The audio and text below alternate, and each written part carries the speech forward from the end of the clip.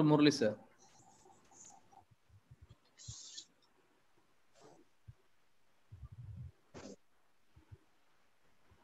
Uh, we welcome you all for this uh, virtual CME pro- program from the Department of Cardiology, Sri Ramachandra Institute of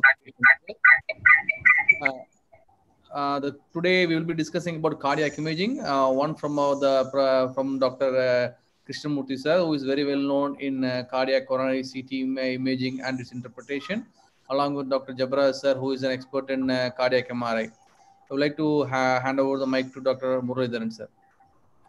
Yeah, it's my pleasure. In fact, a great pleasure to uh, be in this session where Dr. Kimu sir is there. Kimu sir is known to me for more than uh, from 1987, something like that. I was inducted into cardiology by uh, in fact, when I was in Stanley, I was doing my MD PG. I fondly remember the days where I used to do duties with sir.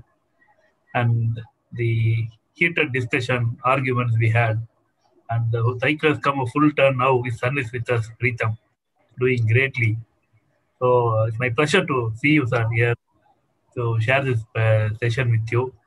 And I know the amount of uh, personal contribution you have done for CT coronary angiogram. You have made arguably the one of the best mode of investigation by your involvement in that in the last 10 to 15 years. And your clinical acumen is well known among all the uh, cardiology, uh, I mean, the faculties and students in this part of the world. In fact, uh, the your extensive clinical knowledge has made this application of uh, CT uh, imaging in cardiology uh, easy one. That's how I always felt like that. To it's, it's always a forte of a cardiologist who knows cardiac anatomy and physiology for internal CT imaging is a, is a great boon to any institute it serves. So it's my pleasure. And the other person whom I happen to see, like once I see a teacher, an imaging expert, other Dr. Jabaraj, who was my junior but great friend from Vellore days, uh, another uh, impeccable authority in MRI imaging. So today we have two giants in this thing, uh, emerging fields of cardiac imaging apart from cath and echo, CT and MRI, and it's going to be a very important learning session for everyone, not only the students, but all the faculties and panelists. With few words, I would love to invite Dr. Kimu sir to deliver his talk on CT followed by Dr. Jabaraj. Thank you, sir.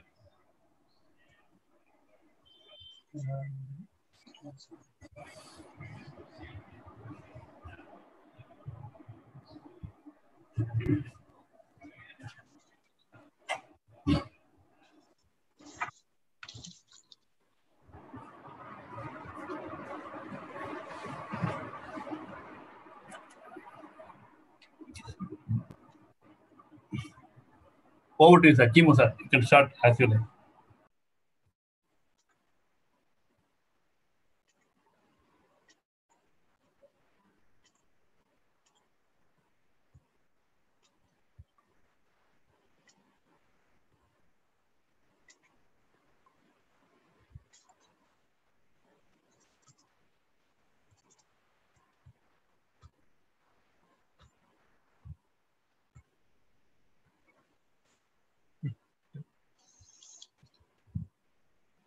Uh, thank you, Professor uh, Murali. Thank you very much for your introduction. Uh, I'm really very happy uh, to be amongst you all uh, during this evening time. Anyhow, uh, the topic is too big and the indications and the need for CT angiogram is so vast. I would like to confine myself only to coronary artery disease. The coronary artery disease is the leading cause of morbidity and mortality throughout the world.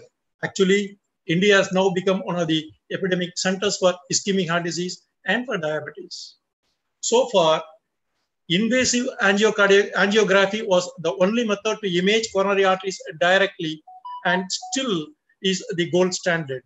CT coronary angiogram has come a long way uh, it may not replace the invasive angiogram, but definitely it will be sort of a complementary one for invasive angiogram in the years to come by.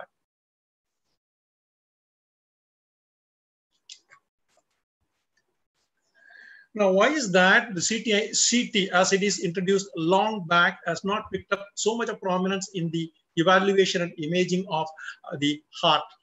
Because heart is a moving organ so to image the heart, you have to literally freeze the heart. You have to make the heart motionless to get a clear picture. So for that, you need a very high temporal resolution. The first generation of these CT scanners, the temporal resolution was so low that it is not able to get a meaningful picture of the heart. And because the coronaries are so small, you need a high spatial resolution to get a good image of the coronary arteries. And also, always there is a fear of the high radiation dose associated with CT angiogram. And also, you need to give quite a lot of contrast medium. So these are the four uh, tumbling blocks for the evolution of CT angiogram in evaluating uh, the cardiac diseases. So now uh, the, the, big attempt is made to overcome all the problems. Apart from the movement of the heart, the coronary arteries themselves have got an intrinsic movement. LAD has got the least movement. RCA has got the highest movement, but the movement is least during two phases of cardiac cycle. One is in end diastole, the other one is in end systole. To uh, visualize the coronary arteries, the diastolic phase is always preferable because that is when the coronary arteries are maximally filled. If the heart rate is very high, and if you're not able to get a meaningful image in end diastolic phase, then you can always opt for end systolic phase. Now, what are the methods by which you can increase the temporal resolution? One is to bring down the heart rate to between 50 and 60 by giving beta blockers. So when you give a beta blocker, and if the heart rate is around 50 to 70, you get a good quality image in diastole that is about 60 to 75% of the RR interval. If the heart rate is fast, if it is more than 80 or 90, then you'll have to see in end systole, which is about 35 to 45% of RR interval. Now, by decreasing the heart rate, you can improve the temporal resolution and by increasing the speed of gantry rotation. Usually the gantry rotates at a speed of 330 milliseconds, but it has got a technical limitation. It can't be uh, made to rotate much, much faster. Now, with the present generation, it is about 250 milliseconds. So when the gantry rotates around the patient, you don't need to go through entire circle to image one slice.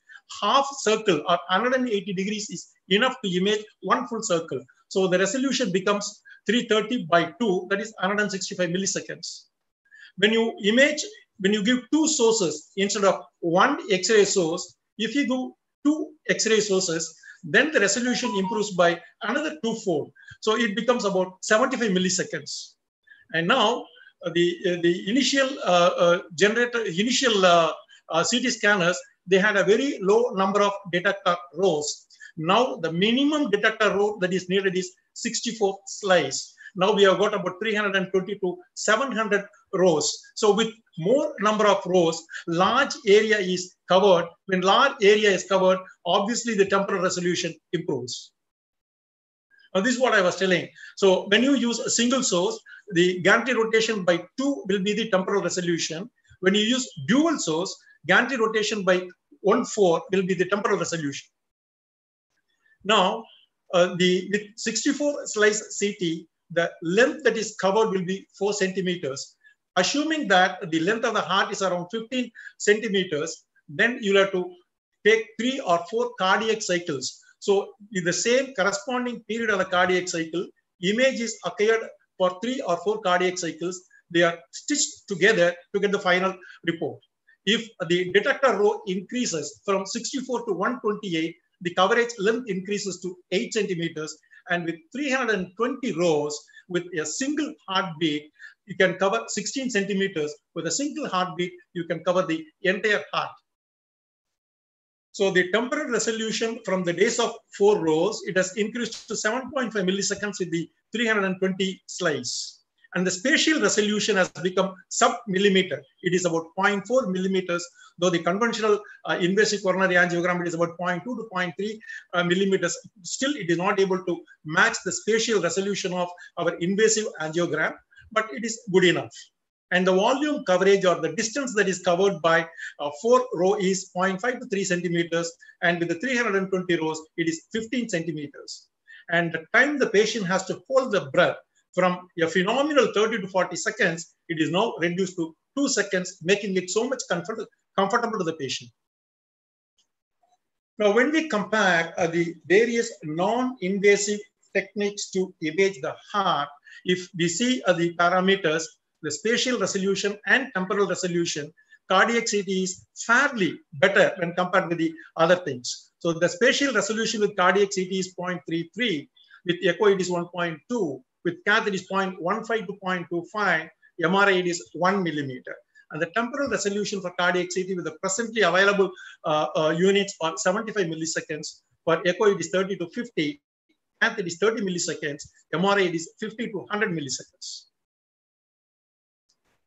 Uh, this is one way of reducing the dose, radiation dose. The, the top row, you, if you look at the gray area, that is the time when uh, the radiation is given to the patient. So the patient is given radiation throughout the cardiac cycle and the images are acquired continuously and following the acquisition, it is retrospectively, it is processed. So with this retrospective continuous rotation, uh, the uh, dosage is about 12 millisieverts. In the second row, the still it is uh, uh, the movement is continuous. The gantry rotates continuously around the patient, and the table is moved continuously. But then, if you give, if you look at here, the maximum dose is given only in the diastolic phase. In other phases where you don't want to acquire the image, uh, the dose is grossly reduced. So by doing this, the, the uh, current given is about 9 millisieverts. And the third one is step and shoot. In the previous two techniques, the patient will be continuously moving and gantry will be continuously rotating. Here, during the acquisition phase, the table remains stationary and the image is acquired. After the acquisition is completed, the table is moved to the second uh, uh, part. Again, it is uh, immobile here. Again, uh, the image is acquired. So uh, there is no radiation at all in between the acquisition phases. So here the dose is reduced to about 5 millisieverts. The last one is single beat. So the width of the detector row is so large that it can cover the entire heart in one cardiac cycle. And the dose obviously is reduced to around 3 millisieverts. So now majority of the problems that were associated with the older generation uh, CT scans are taken care of. Now the radiation is very low. Temporal resolution is fairly good, though the spatial resolution is not matching with the invasive angiogram, still it is within the acceptable range. Now the journey of cardiac CT, it starts with calcium scoring. Then we can move on to the symptomatic phase. Calcium scoring is done in asymptomatic patients. And for symptomatic patients, we have in chronic coronary syndrome, acute chest pain evaluation, plaque characterization, congenital anomalies, graft evaluation, and stent evaluation, you do an angiogram. These are the contraindications for coronary CT. Obesity, when uh, the BMI is more than 30, there is a gross degradation of the quality of the image that it may not be interpretable. And if the patient for some reason is not able to cooperate, not able to hold the breath, not able to lie down comfortably, then movement is a big enemy for CT angiogram. And people who have got a contrast allergy, obviously you can't do that. And people with renal failure, obviously there's contraindication. Irregular heart rate, now that we can acquire the uh, images with a single heartbeat, it becomes a relative contraindication. It is not an absolute contraindication. Heavy calcification of the arteries because of the blooming artifact the shadows extend onto the lumen. So assessing the uh, uh, stenosis is little bit difficult. So when you see a heavy calcification of coronary arteries, it becomes a contraindication for angiogram. Now this is how the image is acquired and uh, it is from the cranial to caudal, starting from uh, the aortic and pulmonary artery arterial level, it goes up to the diaphragm. You can see the uh, main pulmonary uh, aorta, main pulmonary artery. Now we are seeing the right coronary artery, After the acquisition is completed, which hardly takes about uh, uh, 50 seconds, it needs processing. The processing involves many uh, different ways of processing it. One is volume rendering. What you see here is the volume rendered image. This is the maximal intensity projection, and this is curved planar reformation. Now, this is volume rendering. One big advantage of CT coronary angiogram is you can rotate the heart in whichever degree, whichever side you want to. You can tilt it up and down, you can tilt it right and left. So whichever way you want to see, uh, there is no fixed angle. In all the 360 degrees, you can see the heart. So this uh, uh, uh maximal intensity projection it almost looks like uh, now the coronary artery in its uh, uh, in its course. So this will not look like a native coronary artery. Uh, this is uh, multiplanar uh, reformation. The one on the left extreme is left anterior descending artery. Middle row is left circumflex artery, and the right is right coronary artery. Now you are seeing in the short axis view, left main coronary artery, left main coronary artery and LAD. This is circumflex coronary artery. This is right coronary artery. And you see a dense calcification of the left main coronary artery and also a mixed plaque in the mid LAD. Now, uh, to assess the stenosis, you are supposed to look at the images in two orthogonal uh, angles. One is in the long axis, the other one is in the short axis. Even with that, it may be difficult at times to uh, clearly see the lumen then you have the option of giving color coding to the different tissues. The green color is the lumen and yellow color is the calcification and the pink one is uh, soft plaques. See here, you are taking a cross section of the left main coronary artery of the same patient and you see a small area of calcification here and the lumen. But then what is missing here is the soft plaques. If you give a color coding, you can see uh, the yellow spot is uh, the calcium and the pink one is the soft plaque and the lumen here.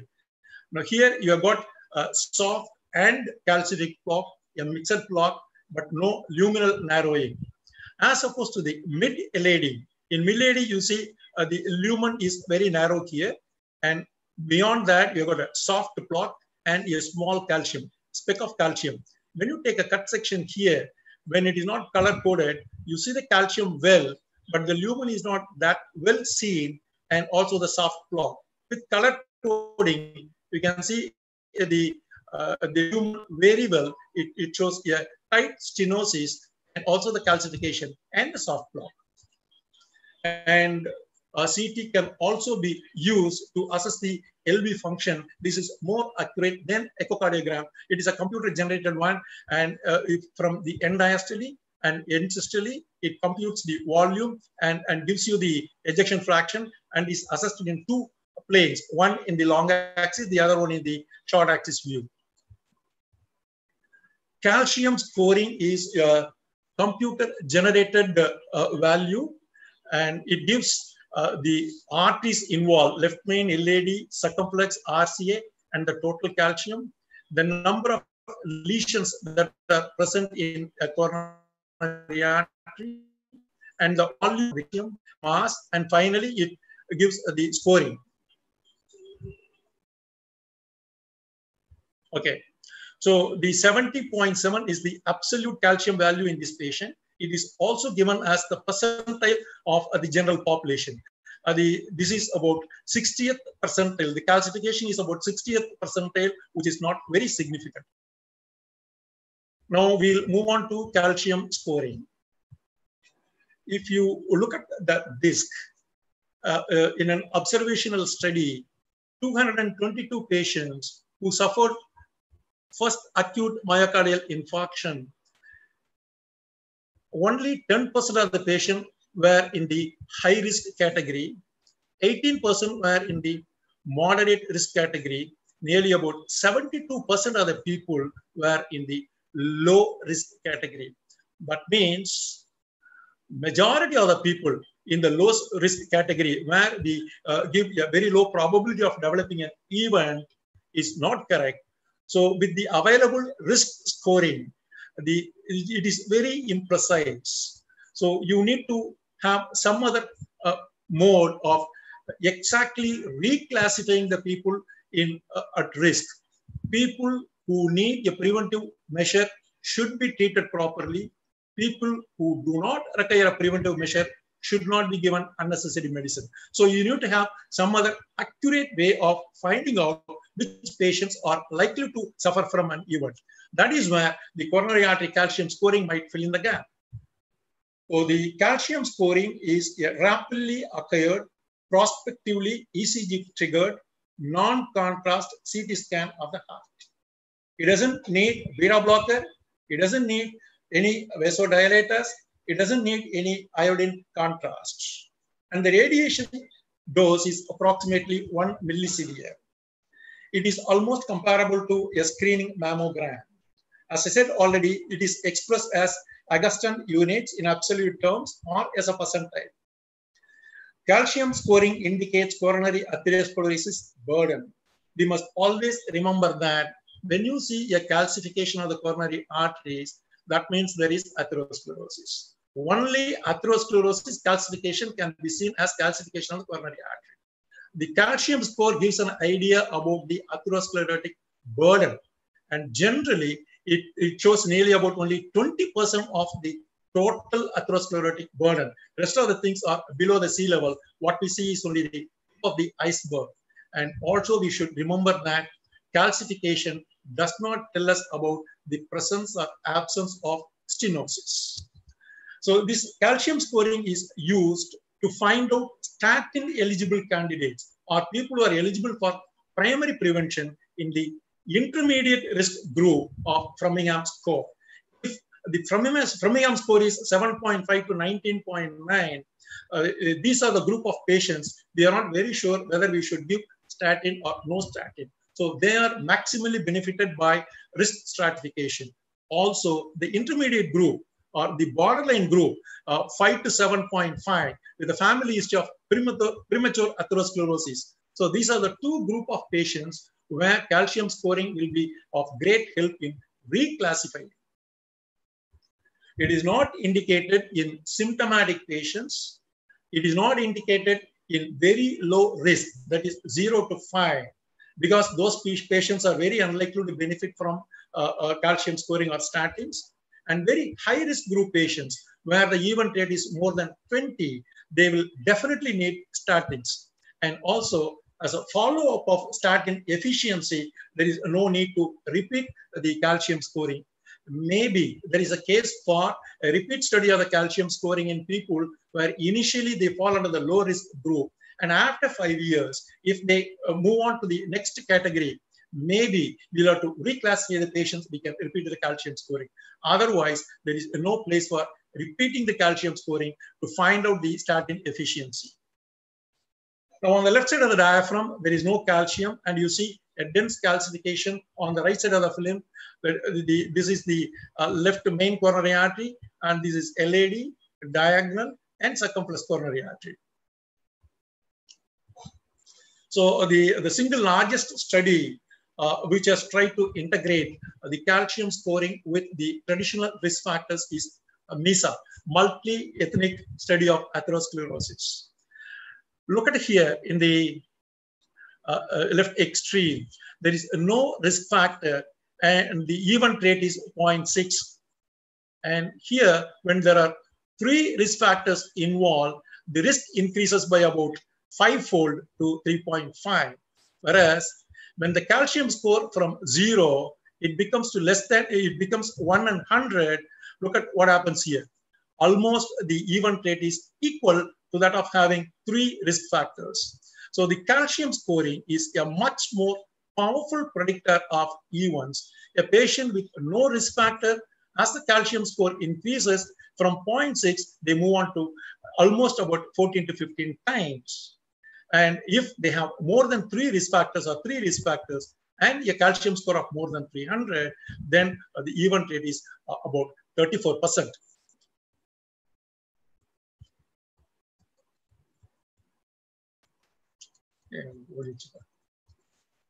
Sorry.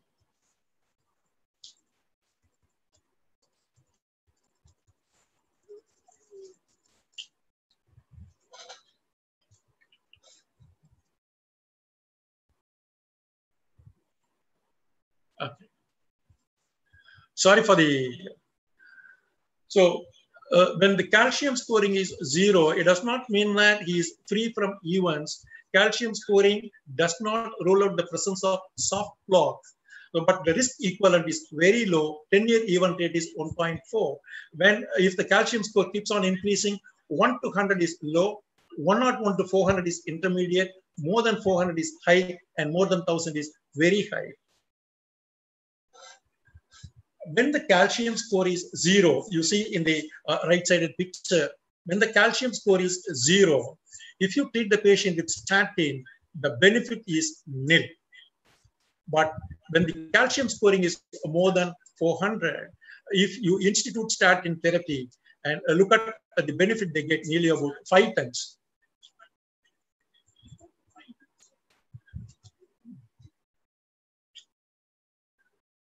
This is non-statin, this is statin, and the calcium scoring is 401. So what we call it is power of zero. When the calcium score is zero, this patient does not require statin despite the presence of one or two risk factors. But if the patient's calcium score is 100 and more, even though there is no traditional risk factor, these people will benefit highly with statin therapy. So generally, the calcium scoring is used for negative predictive value. Generally, it is meant for de-risking the patient. When the patient has got two risk factors, unnecessarily the patient may be given statin for a lifelong commitment. If the calcium scoring is zero in this group of patients, you can be rest assured that they don't benefit with, uh, uh, with statins and statins are not indicated. So the 2018 guidelines for individuals between 40 to 75 years without clinical ASCVD, calculate the 10-year risk using uh, the uh, Framingham risk score. If uh, the this is the step one, if the score is less than 10, and if there is a family history of premature ASCVD, then you can give uh, calcium scoring. Otherwise, there is no need for calcium scoring in this group of patients. If the score is more than 20%, they are obvious candidates for uh, uh, statins. They also don't require calcium scoring. It is in the intermediate group of patients you do the calcium scoring. The calcium scoring is zero, just the uh, healthy heart lifestyle management and, and no statins. And if the calcium scoring is more than 100, you give statins and also aspirin. Because in this group of patients, benefit of aspirin outweighs the risk involved. So it is in the intermediate group, when the calcium score is 1 to 99, lifestyle management, and you can consider pharmacological lipid treatment. Now we'll move on to the next uh, CT coronary angiogram in chronic syndrome. So in people who have got chronic chest pain syndrome, it is always recommended that you do some testing and find out the probability of the patient having an ischemic heart disease or no. So far, it is a functional testing, exercise treadmill, or nuclear medicine or stress echocardiogram, they were ruling. But now you have got another option also to test these people, that is anatomical testing by CT angiography. Now, the in 2015, there was a big debate of which test the patient should undergo, functional testing or anatomical testing. The advantage of anatomical testing is you look at the three group of patients given in this picture. On the left extreme, you have people who have got normal coronary arteries. And the, in the middle panel, you have uh, coronary arteries with non-obstructive disease. And in the right extreme, you have coronary arteries, non-obstructive, but high-risk clot who are potential candidates for developing an acute coronary syndrome. Uh, do a stress in three groups of patients, the result is going to be negative but the, the way these people should be treated are totally different. But you know, the benefit of giving a, a secondary preventive measures will be lost if you go only with the functional assessment without doing the uh, anatomical assessment. So to find out which is better, whether they are equal or anatomical testing will be better than uh, the functional testing. Two large randomized trials were conducted between 2013 and 2014. One is the PROMISE trial. In PROMISE trial, uh, 10,003 patients were selected and, and they, uh, uh, they were allotted to either anatomic strategy or functional strategy. And the primary endpoint was the outcome in 25 months. So after two years, there was no big difference in the event rate, that is death, MI, unstable angina, or major complications. It is 164 versus 151. Of 4,680 patients, CT angiogram, it picked up 609 patients with an abnormal coronary angiogram. And of the 609, 439 had obstructive coronary artery disease, 170 were normal. And of the 439, nearly about 320 patients underwent revascularization. In the functional testing, 406 people were identified to have a problem and they underwent uh, the, uh, the invasive angiogram. Out of 213 were found to have normal coronaries and 193 had obstructive coronary arteries and 158 patients underwent revascularization. So, so there is a huge difference in the number of patients who underwent coronary angiogram in the CTA group compared with the functional group. And also the number of people with normal coronary or non-obstructive disease was only 170 in the CTA group and it was 213 in the functional group. And also the number of people who underwent revascularization, about 300 in the CTA group and about 150 in the functional group. But ultimately, at the end of 25 months, there is no big difference in the event rates of people who are uh, in the CTA group or in the functional assessment group. Uh, uh, probably the reason uh, probably is that 25 uh, months or two years is too short a period to assess the benefit of the treatment. Concurrently, one more trial uh, was conducted, that is SCOT-HEART trial, and uh, the, the, the PROMISE trial.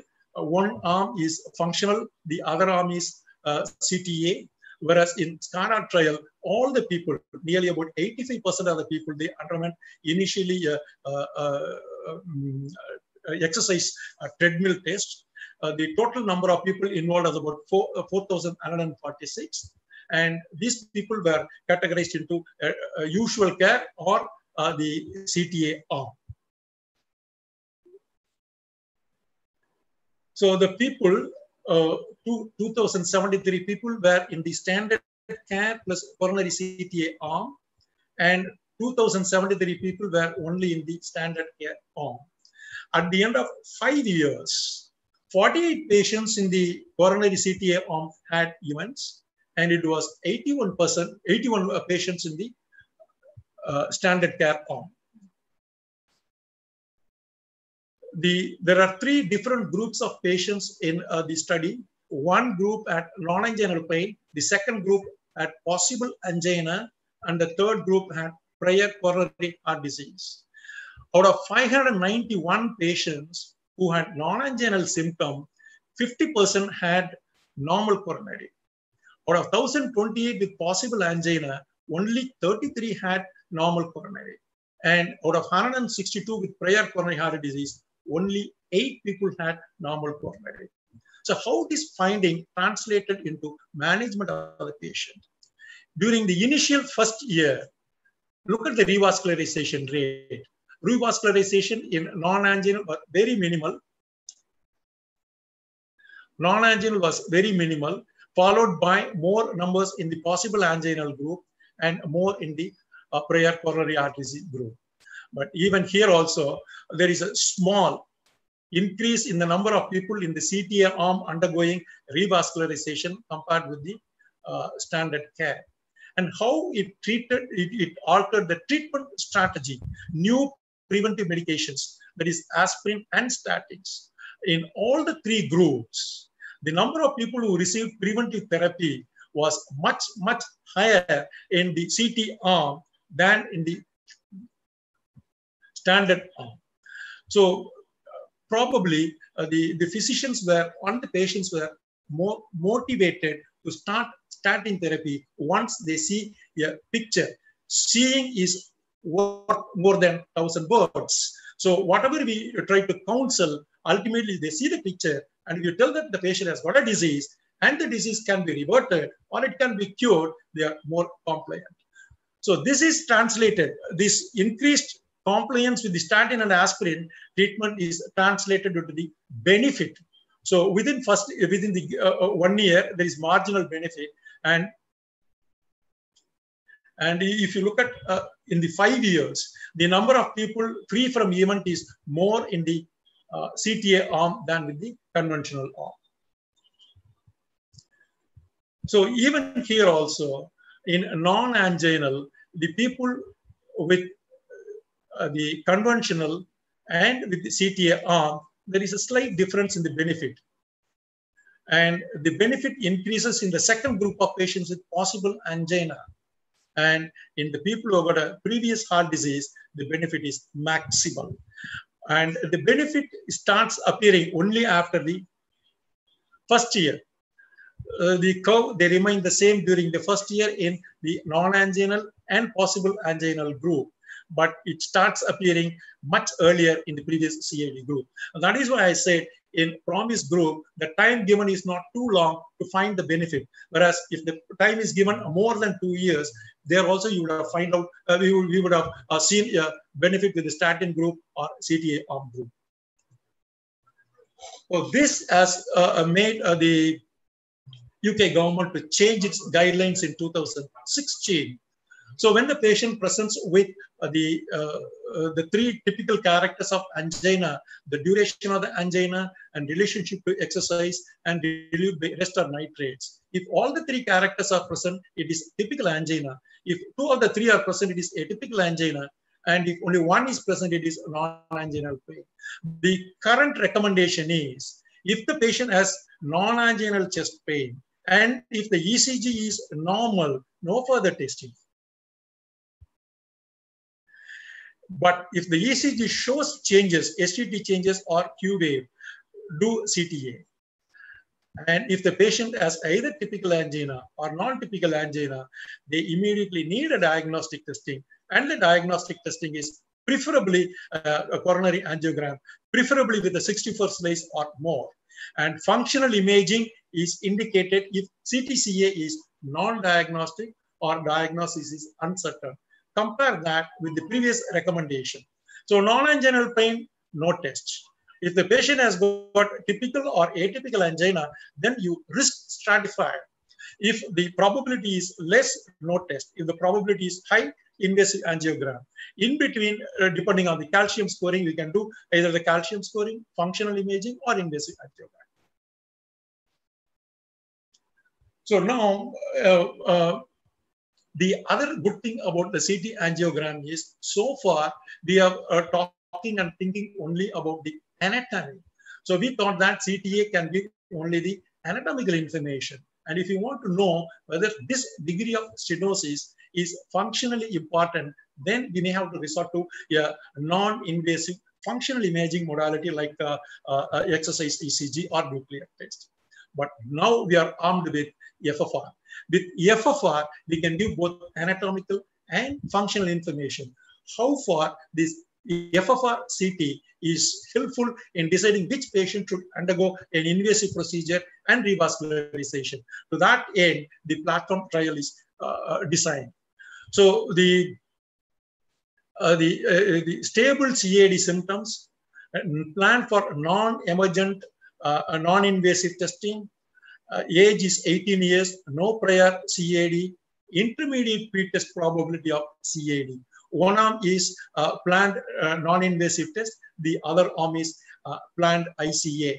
The primary endpoint is what is the percentage of people who have non-obstructive coronary artery disease at the end of this. So if you look at the planned ICA arm, people usual care who have not undergone FFR CT, 73% of the people had non-obstructive CAD. And in the other arm, only 12% of the people had obstructive coronary artery, uh, non-obstructive coronary artery disease. And nearly 67% of the people did not undergo invasive coronary angiogram. Now, what do we learn from these experiences and from these trials? What we thought initially some uh, decades ago, all the people, 100% of anatomically significant lesions should be revascularized. It is a courage trial and recently ISCHEMIA trial that told us very clearly that revascularization based on anatomical stenosis alone it does not prevent events. There is no big difference between uh, the uh, revascularization and OMT. So now what do we do? What we think now, following the FAME trial, which demonstrated the safety of deferral of FFR negative lesion, regardless of degree of luminal stenosis. So we went on uh, to from stenosis assessment to the functional assessment. People where the FFR is negative, if it is uh, uh more than uh, 0.8, they don't need revascularization. Uh, the the, uh, the FFR less than 0.8, they need to be revascularized. So what happens, nearly about one third of the patients whom we thought needs revascularization is taken away by FFR negative lesions. Now we think all FFR positive lesions to be revascularized. So to this, we add one more uh, dimension, that is the uh, character. So there are certain characters of the plaque which are associated with acute coronary syndrome. So these people are more prone to develop an acute coronary syndrome and they need more attention than the other group where these characters of uh, the vulnerable plaque or uh, the high risk plaque are not there. So approximately, this is where the, the FAME2 trial tells us what we should think. Uh, approximately 50% of the FFR positive lesions on medical therapy alone remain even free and there is no difference in the rate of death, MI, or need for revascularization, and no difference in angina. So now we have got one more group of people where the FFR is positive and high risk plaque is negative. This group of patients, are we safe in a differing uh, intervention in this group of patients? So now we are left with only the uh, one third of the patient who is FFR positive, high risk plaque positive, need revascularization. Of course, it needs to be tested. The virtual stenting is one more uh, advantage of the non-invasive procedure where uh, uh, we can offline, we can uh, uh reconstruct the three-dimensional reconstruction of the coronary arteries. We can insert uh, the stent and find out post-stenting what is the likely FFR. If the FFR improves beyond 0.8, maybe that lesion uh, lesion needs to be addressed to, and stenting will benefit that patient.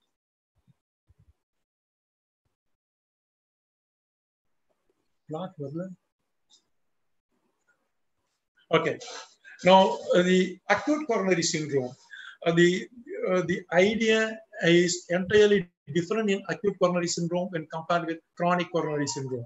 Chronic coronary syndrome is a non-emergent leisurely evaluation of the chest pain. Whereas an acute coronary syndrome, you got to take a decision and the decision should be very fast and the decision should be accurate. So when a patient comes to you in the emergency department with the chest discomfort, unfortunately, this is the second most commonest symptom. The people come all over the world to the emergency department.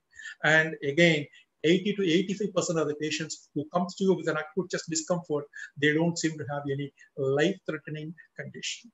But we have to find out which patient has got a life-threatening condition and which patient do not have a life-threatening condition. So the life-threatening condition can be cardiac or non-cardiac. So non-cardiac, any organ, you know, like uh, uh, tension pneumothorax or uh, rupture of the esophagus. So any of those conditions can produce acute life-threatening condition. In cardiac condition, it could be a coronary or non-coronary. In non-coronary, uh, you can you can have an aortic dissection, you can have a pulmonary embolus, you can have a cardiac tamponade. So CT will be very useful in finding out not only uh, acute coronary syndrome, but also the other two major problems, that is dissection of the aorta and pulmonary embolism. Always remember that CT angiogram is useful in ruling out it is very, very sensitive, but the specificity is not that high. For ruling in, uh, the CT angiogram may not be very useful, but for ruling out, the CT angiogram is highly useful. If you find a coronary artery to be normal, then it is normal. If the coronary artery shows 50% stenosis or 80% stenosis, it may not be 80%. Always the coronary angiogram tends to overestimate the degree of stenosis. So the three groups of patients that you can make out in CT angiogram are uh, the dissection of the aorta and uh, the acute coronary syndrome and pulmonary embolus. It is a ROMICAT study involving about 1,000 patients when people were uh, allotted either to CT angiogram or functional group or the routine evaluation of an acute coronary or an acute chest pain syndrome, more than 50% of the people were discharged from uh, the ED within 8.6 hours. And people who were who underwent the uh, other non-invasive test, it took nearly about 27 hours to discharge the patient. And the event rate at, at end of 30 days in the CTA group and the functional group are almost the same. So the, the purpose of testing a patient with acute coronary syndrome in the emergency department is that you should not send the patient home when they have a disease, and you should not make the patient wait in the department for a long time when they don't have a disease. Anywhere less than 1% discharge of a, of a patient with the disease is acceptable. And if it is more than one, then it becomes a crime. So suspected non-ST elevation MI or acute coronary syndrome. ST elevation MI, it identifies itself as ST segment elevation. They follow a different group of treatment altogether. So in suspected non-ST elevation MI, acute coronary syndrome, take an ECG. ECG may be normal. ECG may show changes. The ECG is normal, high sensitive troponin. If the troponin is negative, the, it practically rules out. High sensitive troponin, negative in one hour, practically rules out an acute coronary syndrome. Uh, it rules out uh, uh, elevation or myocardial necrosis. If it is positive or there is a change in the intensity, it rules in and the patient goes for and the patient goes for angiography and revascularization. And the intermediate group, again, where you're, uh, uh, you're not sure uh, whether the patient has got an acute coronary syndrome or not, then you'll have to do one of the two things. Either you do a functional testing or CCTA.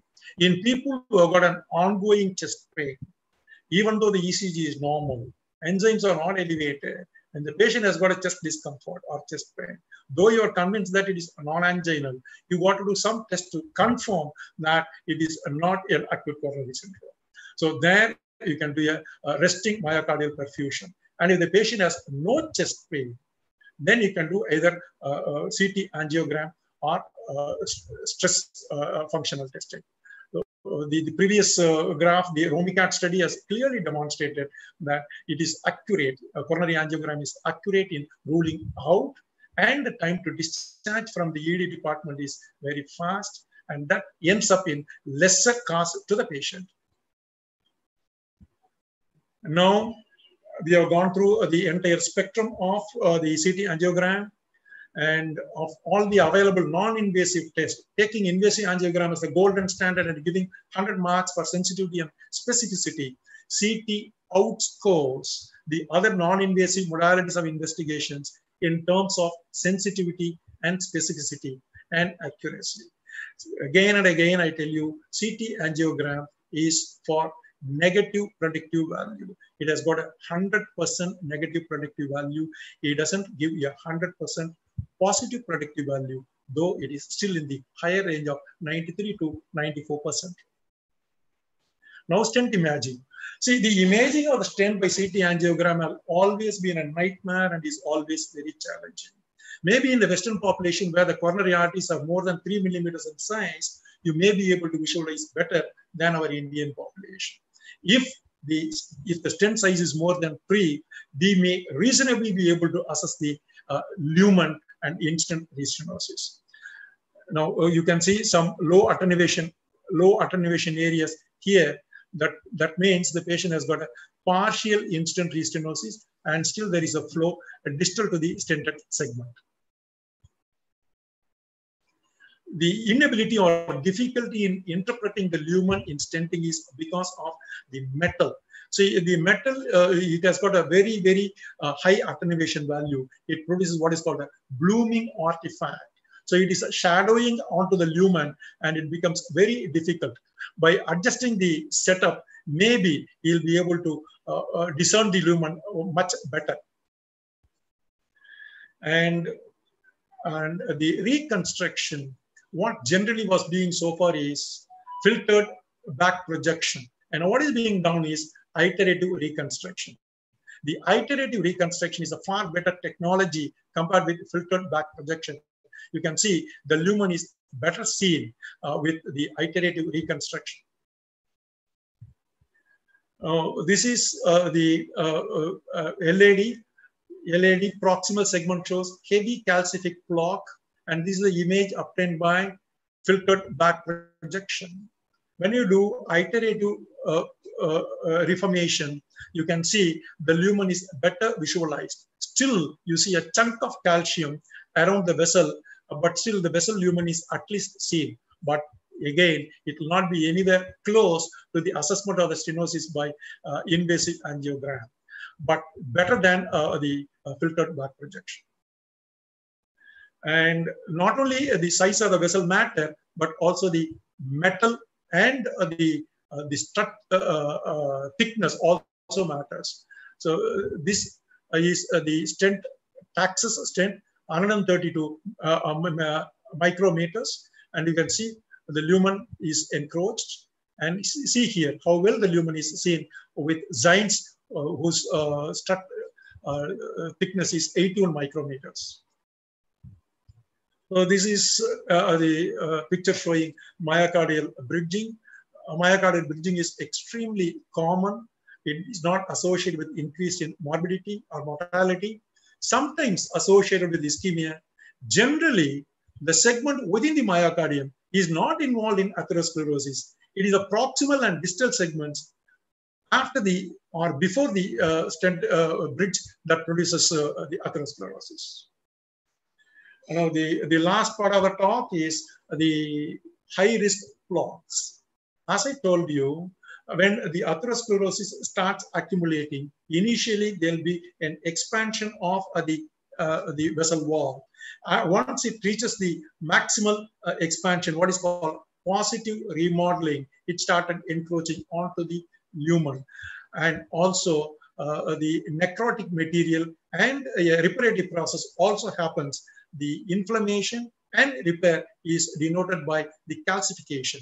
When the calcification is very dense, that means the repair is almost complete. When the calcification is spotty or very, very minimal, then the inflammation and repair is going hand in hand together. So positive remodeling, lipid or necrotic core, uh, uh less than 30 Hounsfield units, and spotty calcification, it characterizes the high risk plaque. So this is, uh, you can see the boundary from here, it extends up to this. Compare that with the normal segment. So there is a little bit dilatation of the vessel here. That is called positive remodeling. Now you have a hypodense region here. This is because of the necrotic tissue and surrounded by a little bit denser tissue. This is because of the fibrosis or fibrous tissue. And this is a much higher uh, denser lesion. This is spotty calcification. This is uh, the observational study which tells you about the association of the three characters of vulnerable plaque and the presentation, acute coronary syndrome versus chronic coronary artery disease. So this is positive remodeling, 87%, low attenuation plaque, 79%, and spotty calcium, 63%. So these three characters are associated with acute coronary syndrome as opposed to only 12% and 9% and 21% in chronic stable angina. And in chronic stable angina, again, uh, the uh, high risk plaques are very minimal and the dense calcification is very high. So once you find a patient with a dense calcification and no none of the other features, we can rest assured that this uh, is very unlikely to develop an acute event. So the other characteristic feature of uh, uh, the high risk plaque is uh, napkin ring. So you see a low attenuation plaque here, closer to the lumen and covered by a dense fibrous cap. So to conclude, CT coronary angiogram is a useful modality to assess coronaries in low to intermediate risk population. Additionally, FFR CT is useful in assessing the functional status of the coronary stenosis. Coronary calcium is a useful modality of reclassification of intermediate risk patients for statin therapy. Radiation of CT angiogram is comparable to invasive angiogram in present generation CT. During this now, this COVID pandemic related uh, in this uh, in this period, definitely CT angiogram has got a lot of advantages, and CT angiogram is a viable alternative in uh, in patients coming with the chest pain syndrome, uh, where you don't know the COVID status, or even uh, COVID positive patients. CT angiogram uh, can be much more liberally utilized, and also you can use this technique to image the lungs simultaneously. It gives an additional information.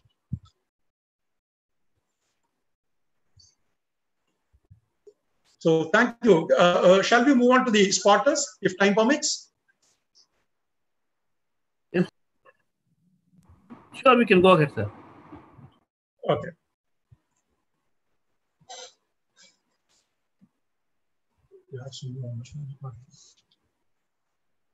Oh. Can somebody spot the diagnosis?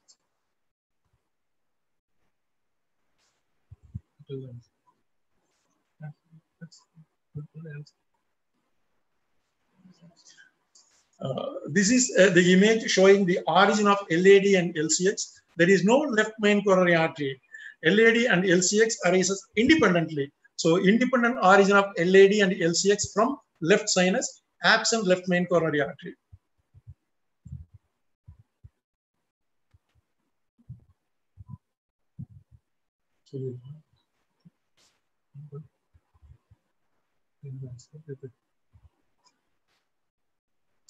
This is left coronary sinus. This is right coronary sinus. And left main arises usually, as usual, from the left coronary sinus. But the right coronary sinus also arises independently from the left sinus. So anomalous origin of right coronary artery from left coronary sinus.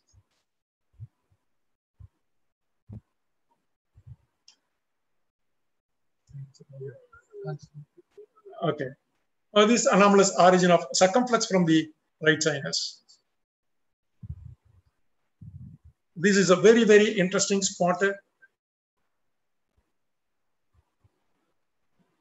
This is aorta. This is main pulmonary artery. What we are seeing is coronary arteries here. You don't find coronary artery coming from the aorta. So the left main coronary artery arising from the pulmonary artery, ALCAPA.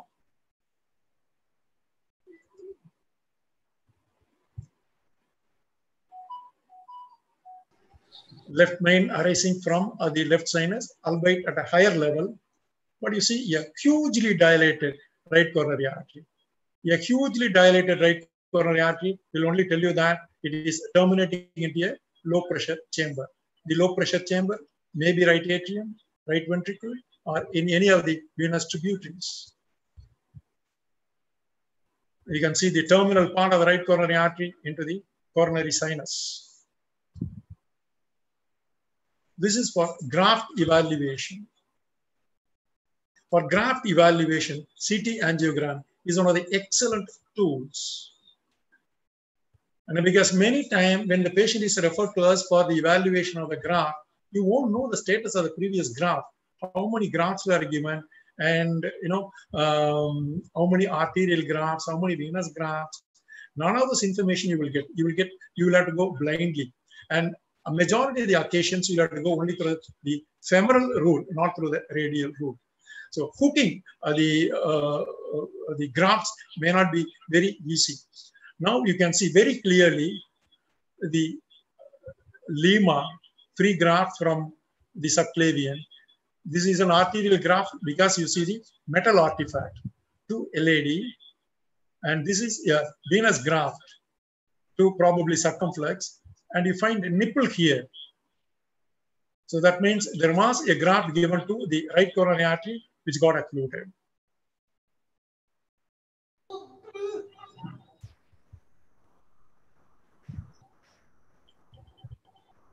Now, uh, this is uh, the stent study. Stent was given to proximal LAD, and you find a low attenuation area over here. But the density of the distal LAD and the proximal LAD before uh, the stent, they have equal intensity. Probably, it is not a very accurate way of saying that there is no block. Probably, uh, it is not a total occlusion. So it is a partial occlusion that is shown in the cross section you got a low attenuation area here, and the lumen is seen in the center.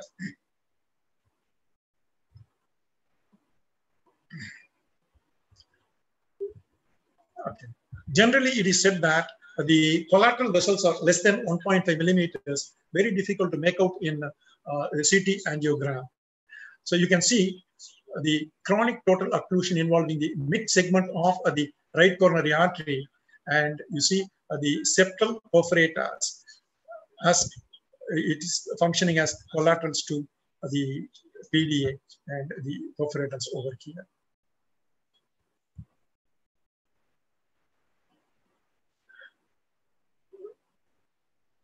See, this is the main pulmonary artery, right pulmonary artery and left pulmonary artery. You can see the paucity of vessels over the left pulmonary artery. If you concentrate carefully over here, there is a pinkish area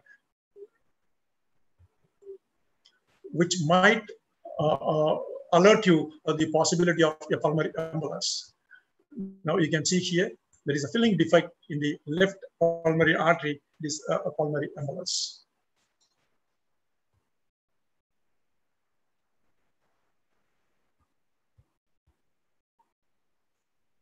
Okay, this is a dissection of the aorta. This is the true lumen the false lumen. It's a false lumen. This is a very interesting case. The bright object that you see here is a temporary pacemaker catheter. And you can see the shadow beyond the cardiac silhouette. It has perforated and it is lying within the pericardium there is a small amount of pericardial effusion also.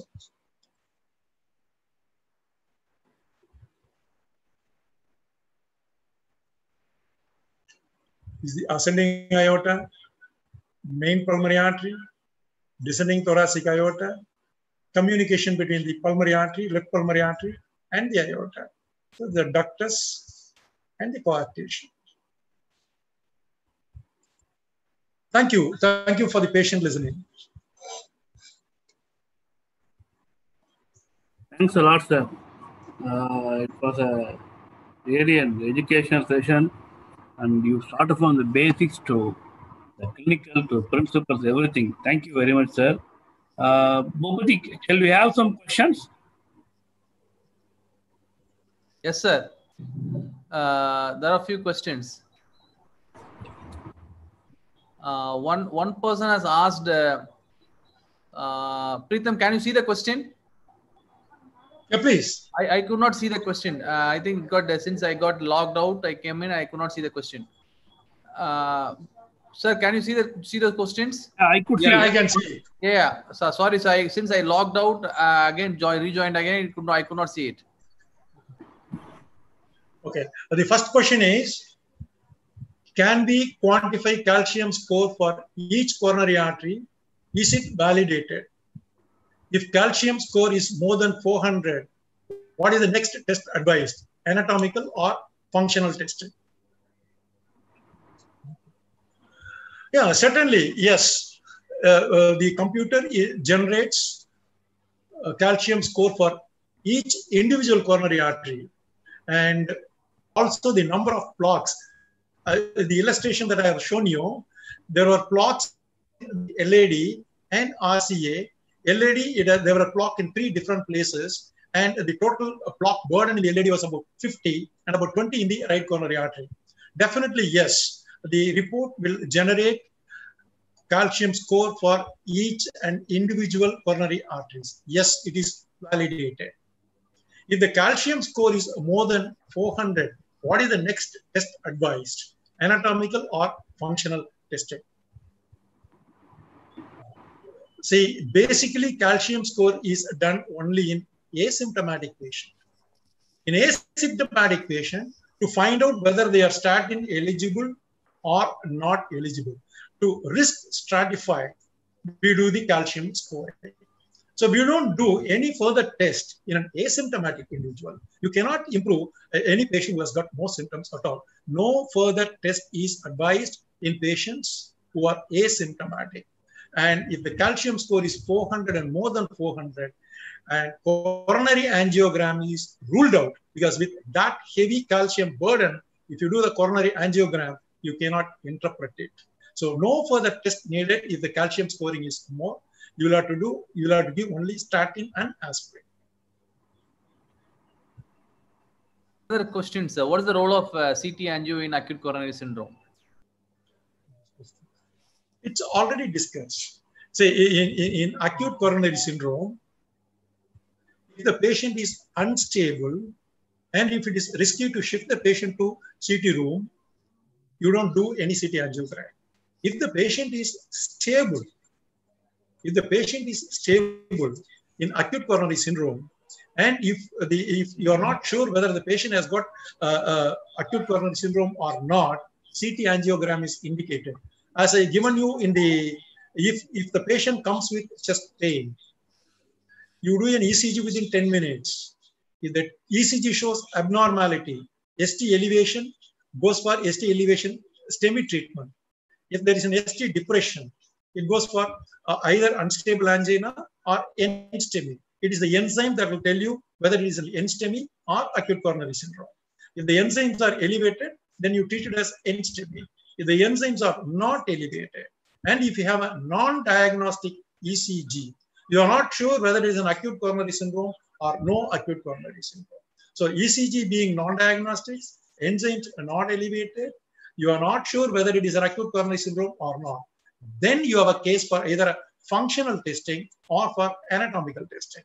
If the patient continues to have chest pain and you are scared to do any uh, uh, stress test, do a resting perfusion imaging. Resting perfusion image will rule out uh, an acute coronary syndrome. And if the patient do not have chest pain, then you can confidently send the patient for CT angiogram. If the CT angiogram is negative or if the coronary arteries are normal, 100%, it rules out uh, acute coronary syndrome. Or you can do functional testing also. It, it, it's left to the individual physician's, treating physician's choice. And that is exactly what the 2020 ESC uh, recommendation is for acute coronary syndrome.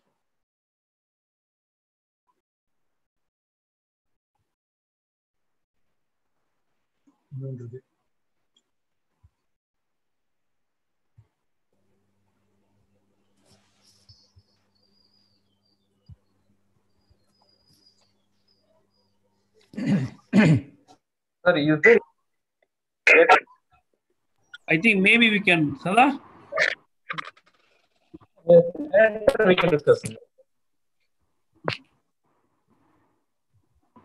Sada? Yes, sir. Later we can discuss. No point. Yeah, yeah. I will wait. No, maybe we can move to the next round. Sada, can you take or invite the next speaker?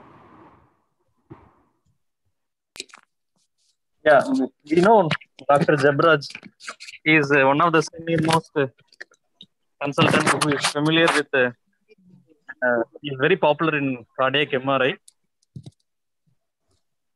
We have heard a plenty of lectures from him. Definitely, I promise that this lecture will be beneficial for the postgraduate, not only for postgraduates, for all the consultants who is practicing day to day. Welcome, Dr. Jabraj.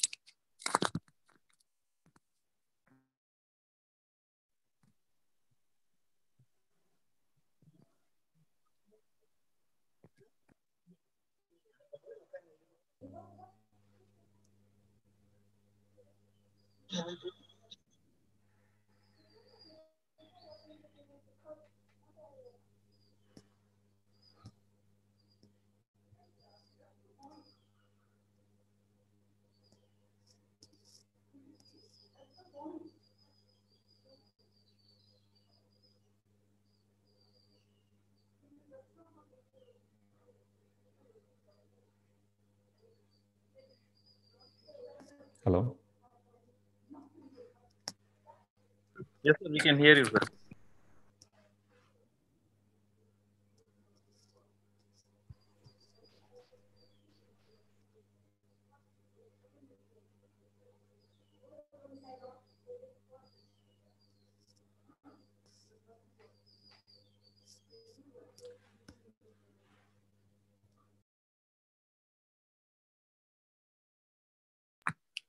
Sir, you are not audible now.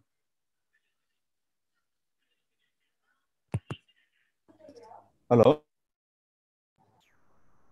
You are audible, sir.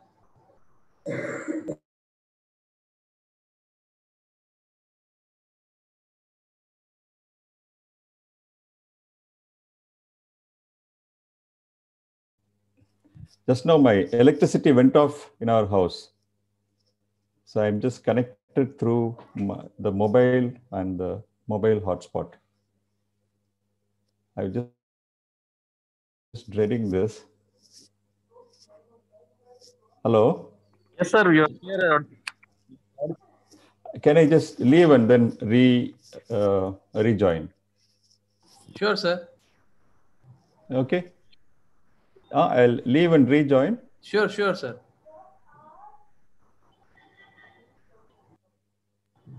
Meanwhile, uh, Dr. Sadanandam, you, you, you are about to ask a question to uh, Dr. Krishnamurti, sir. Would you like to ask it now? Uh, no, just I want to know the, the we discussed in the last uh, seminar, last lecture. Um, do you have any images of uh, coronary stent infection and uh, dilatation of coronaries related to No, coronary stent infection? no, no, no.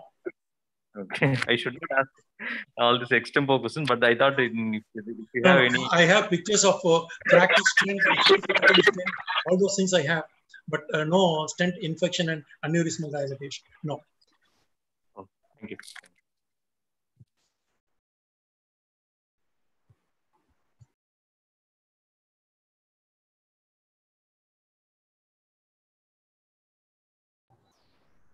Sir, I have one doubt. Do you have? Do you think uh, there is a benefit of getting 320 or 640 CT scan when, when we have 128 CT scan, except for the patient comfort of holding the breath for 10 seconds in 128 and three in 320 and one second in 640? Is there any any better uh, temporal and spatial resolution? Any better pictures that we can get with the higher end uh, CAT scan machine as compared to a 128 CAT scan machine? No, I don't see that. As a matter of fact, the 64 slice that was coming uh, uh, 10 years ago that produced a, a magical picture. You could have seen all these spotters. That quality picture you will never get now because of the radiation fear. Now, what we used to give is about uh, 400 uh, milliamperes and 120 kV. Now, majority of the machines, they give an output of 100 kV and the um, uh, this is about 350 to 400 milliamperes. So with that low radiation, taking the patient's safety into consideration, the quality of the image certainly suffers. The image quality will not be anywhere closer to with the 64 slice CT. 128 slice is okay, more than adequate. For that matter, even 64 slice with uh, dual uh, uh, source uh, Siemens, that is also equally good. I don't find any big difference in the quality or any other uh, thing between 128 and uh, 320. Except How do you color code the block, sir? You, you were showing some pink, green, and uh, white color, uh, yellow color. Yeah, that is software given by GE. Okay. It's only G specific. Yeah, only G, uh, GE. Now, everything, you know, uh, the computer, uh, the, the CT, Because only- uh, uh, there's a paper published in JACC Imaging where they found direct correlation of MACE events in future. I think subgroup of MESA, uh, where they found the total plaque burden in pan arterial segment goes with future, not uh, stenosis. The plaque burden itself goes with future MACE Correct. as expected. So if you are Yes. able to identify total plaque burden, will you be able to quantify the total plaque burden if you get a CT scan? uh, if you have the source image, if you have the source image, maybe yes. Otherwise, uh, with the, uh, still pictures, no.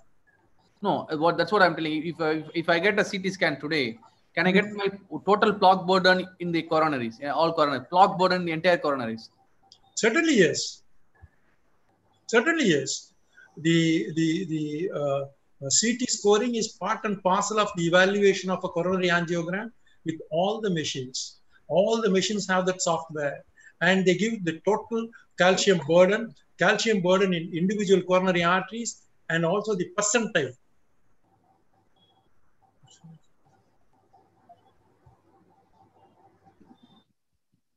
upgrade CTFR value evaluation also, sir. Do they give upgradation or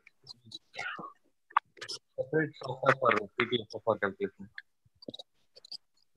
CTFR, sir. I'm asking about CTFR, fractional flow reserve. Sorry, your uh, uh, question was not clear. No, I'm asking for CT fractional flow reserve assessment. Should uh, the, if the software provider trading or it is a separate package that you have to go for? No, CT FFR at site as of now is not available here. If you send the images to the company, he will evaluate and give you the FFRCT. FFRCT is not done at the center.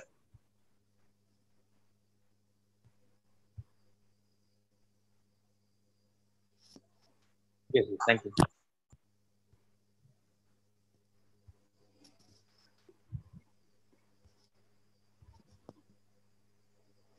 So, uh, being an imaging specialist in your practice, if a if you encounter a patient with chronic stable angina, if uh, what exactly is your approach? Uh, you, you, get the CAT scan done, or you will uh, go for a, a, regular treadmill or myocardial perfusion imaging in your practice? Now, the, the, practice I had been doing now during the pandemic is I ask for more often. It's about pre-pandemic, sir. Pre-pandemic. Invasive.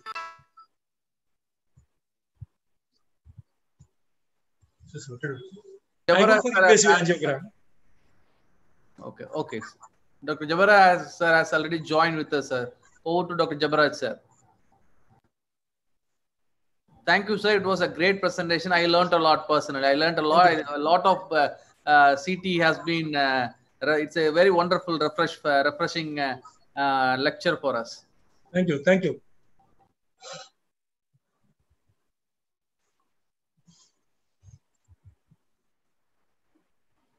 Jabara, sir.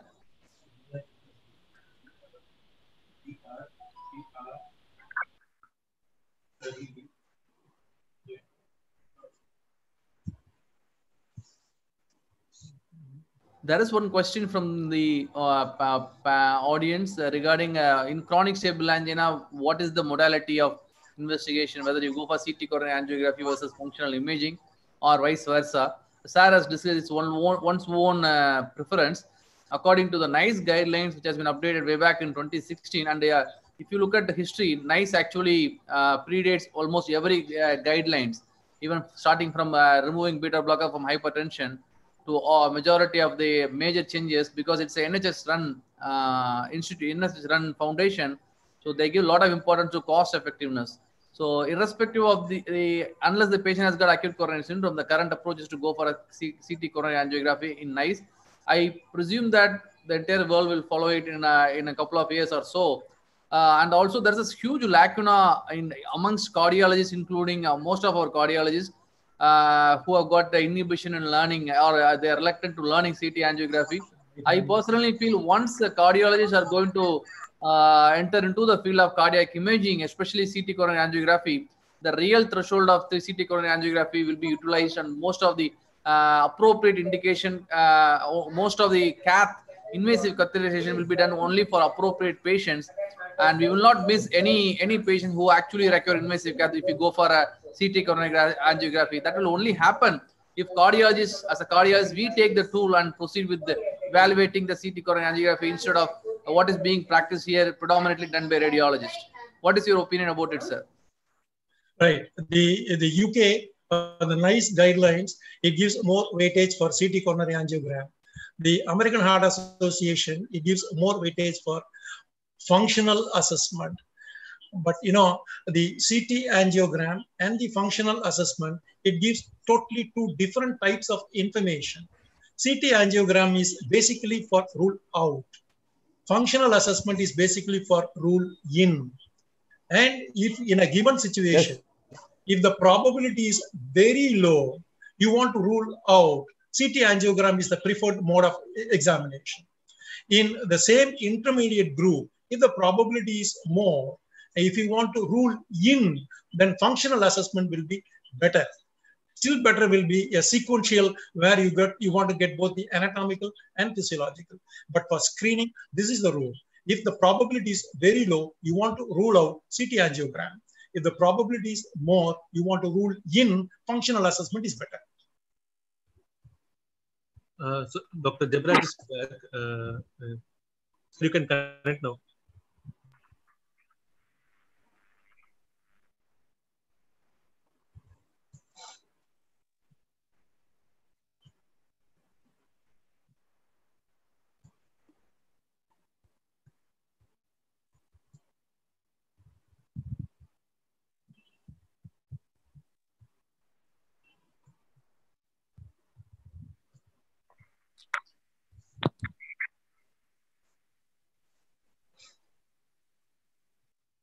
I'm not able to see the share screen. Ah.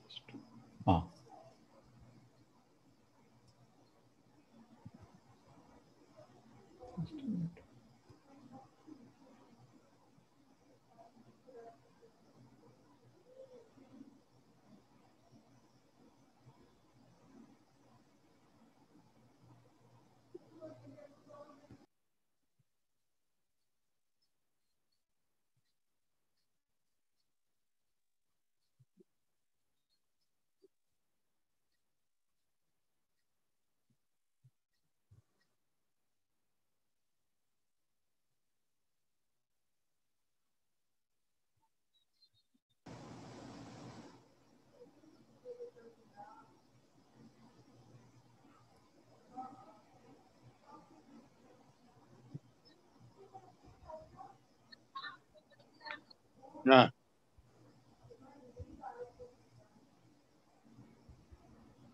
Um,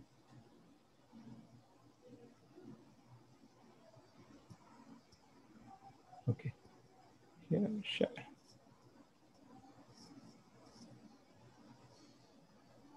नहीं लेकिन बहुत यार ना छुपा करें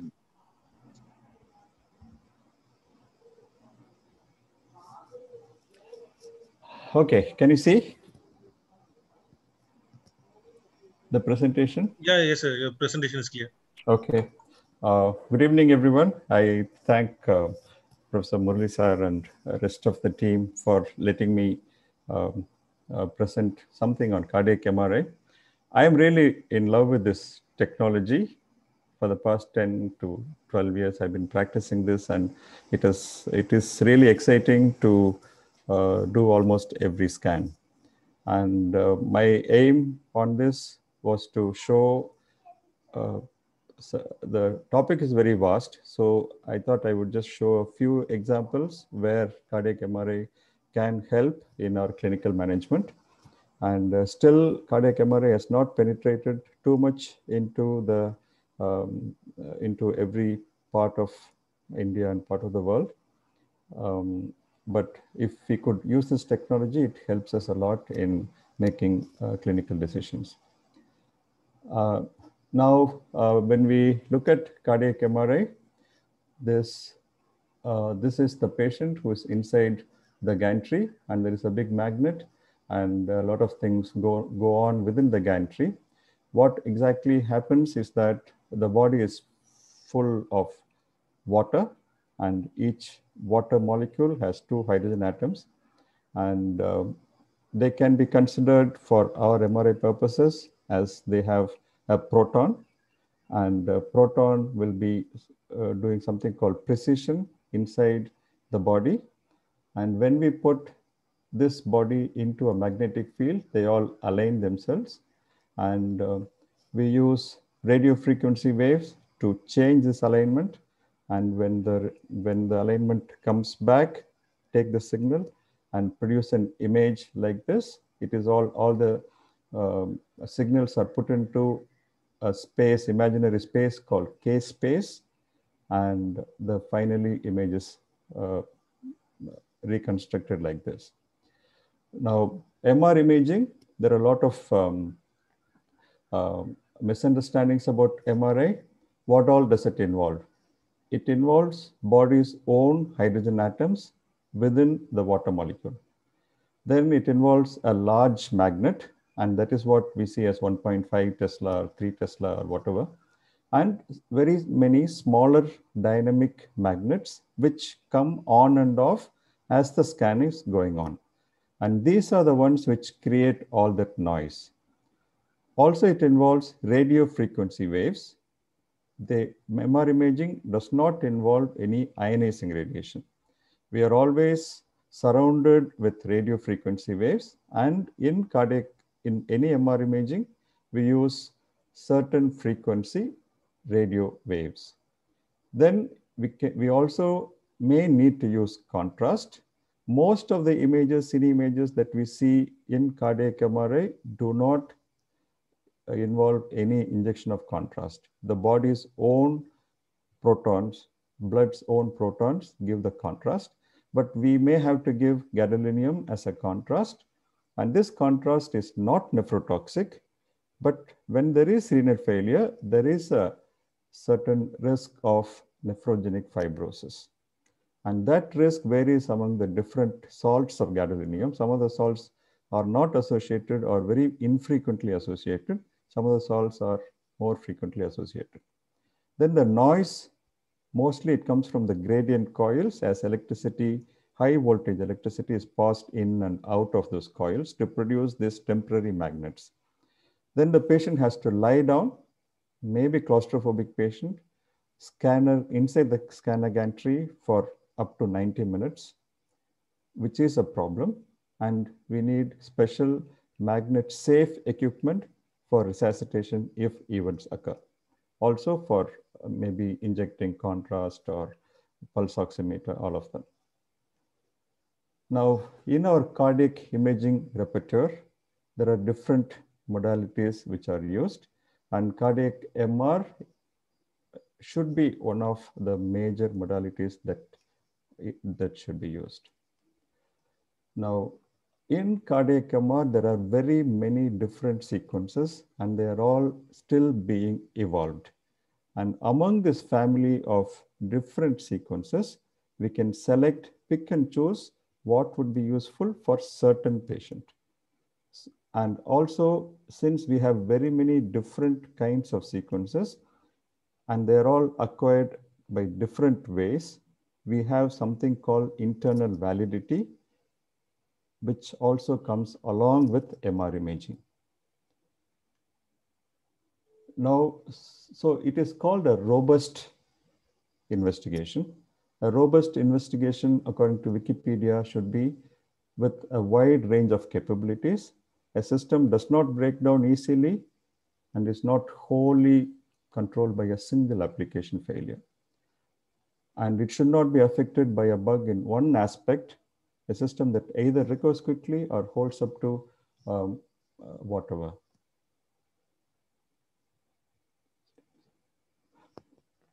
Now, what are the primary indications of CMR? One of my um, fellowship colleagues, fellows in Great Ormond Street, when I was doing fellowship, had written the statement, of course, in the Journal of Cardiovascular Magnetic Imaging, in the pediatric population or congenital heart disease population, CMR could be indicated for any patient in whom clinical or echocardiographic data is insufficient for monitoring or decision making or surgical planning.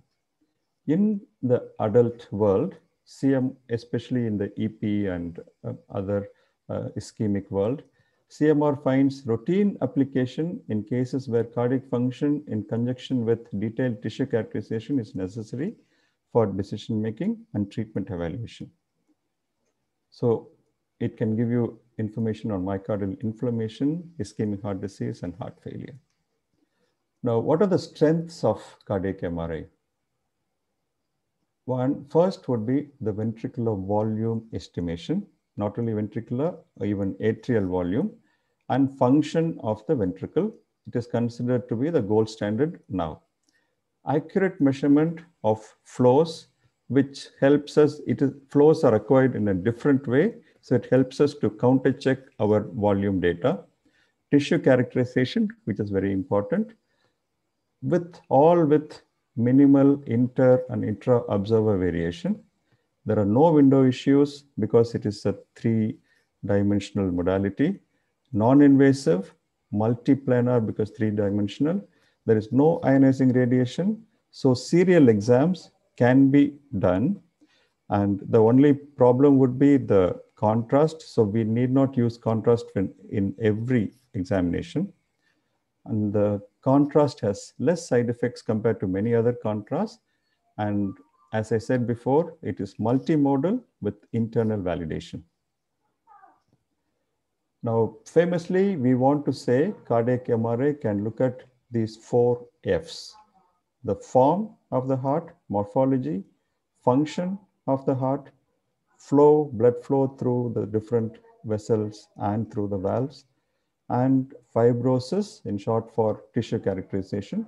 It's not just fibrosis, but all the different aspects of characterizing. You could do something like a non-invasive biopsy.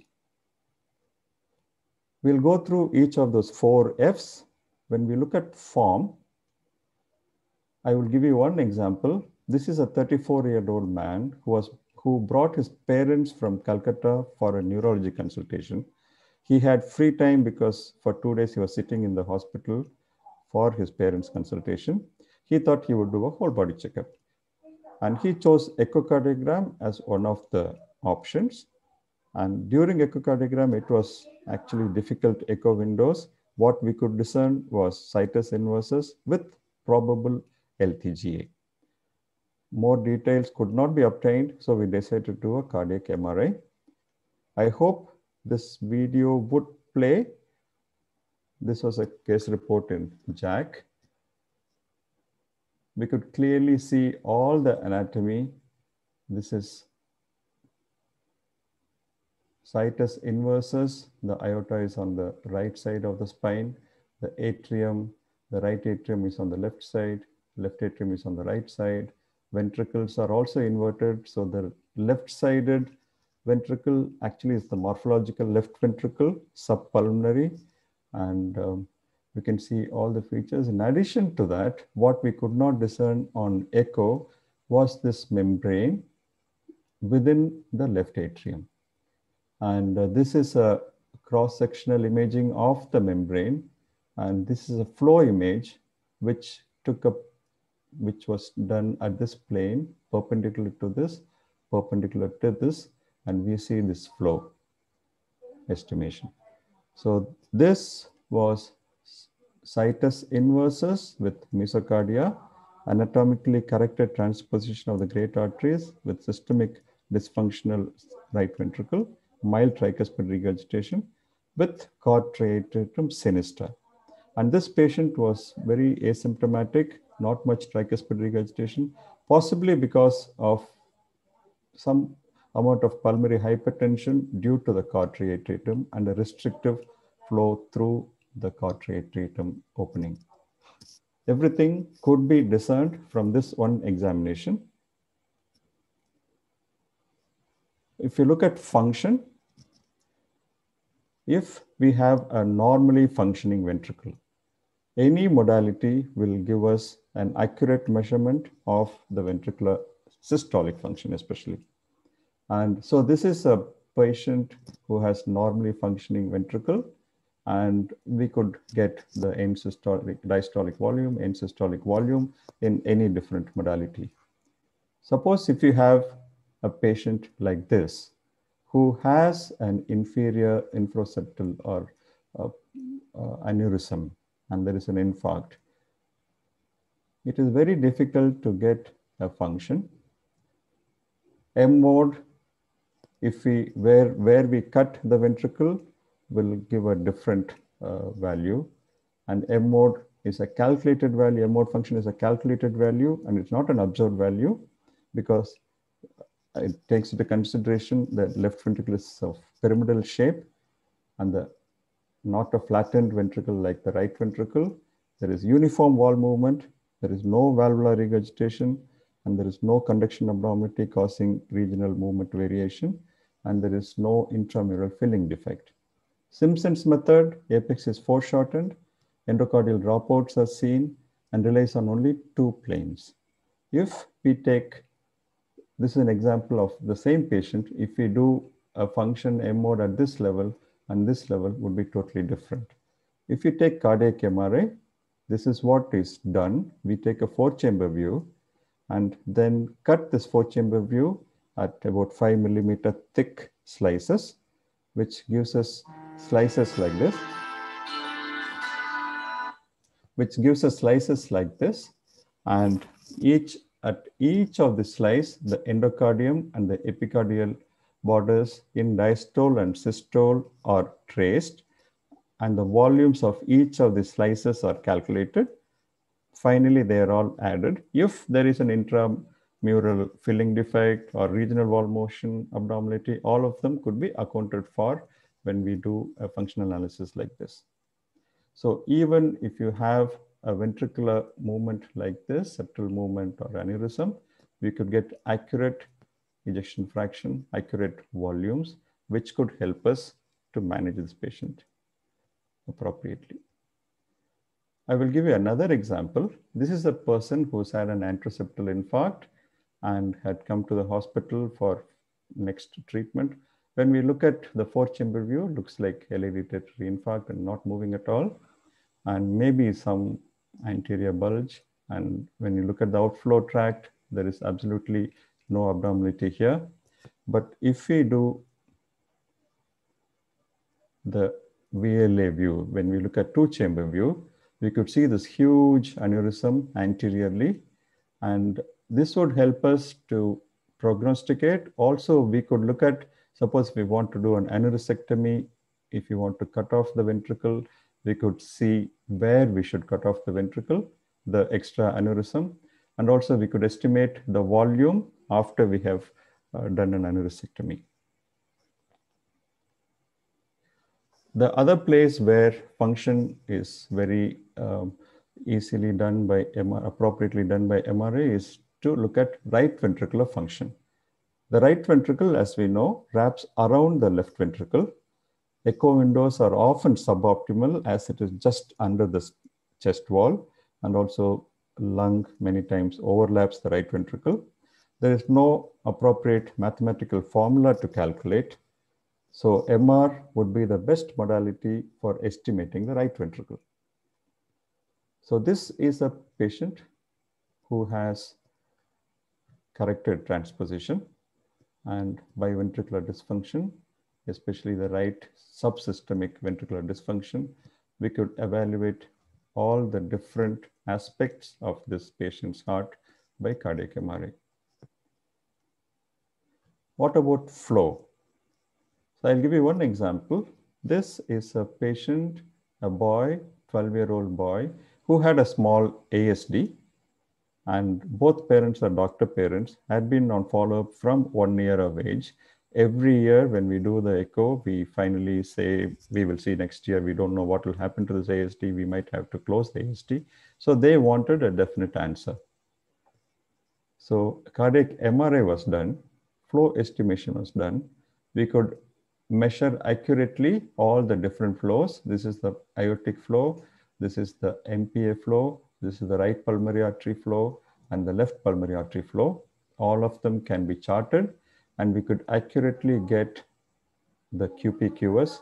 Once we know the QPQS, we could tell them what to do.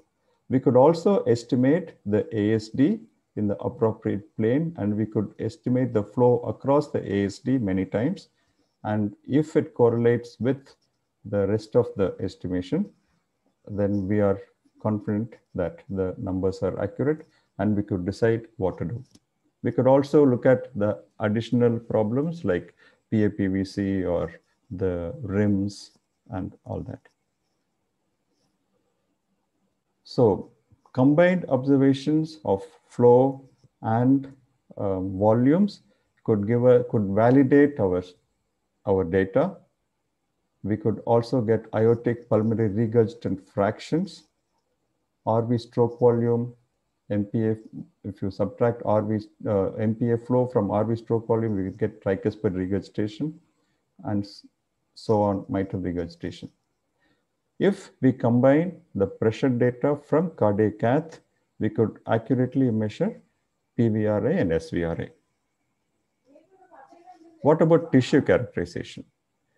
We could characterize myocardial edema, looking for myocarditis or in acute myocardial infarction, fat infiltration into the myocardium, though that is less and less important now, fibrosis of myocardium, infiltration with amyloid, sarcoid, also tumor characterization, trying to see what is the tissue of the tumor made of. So in, just to give an example, this is a patient who came with a VT and cardiac MR imaging showed epicardial. This first is the edema image. We see this extra water on the epicardial surface, subepicardial surface of the left ventricle. And at the same place, there is delayed enhancement. And this patient had ablation by going epicardially.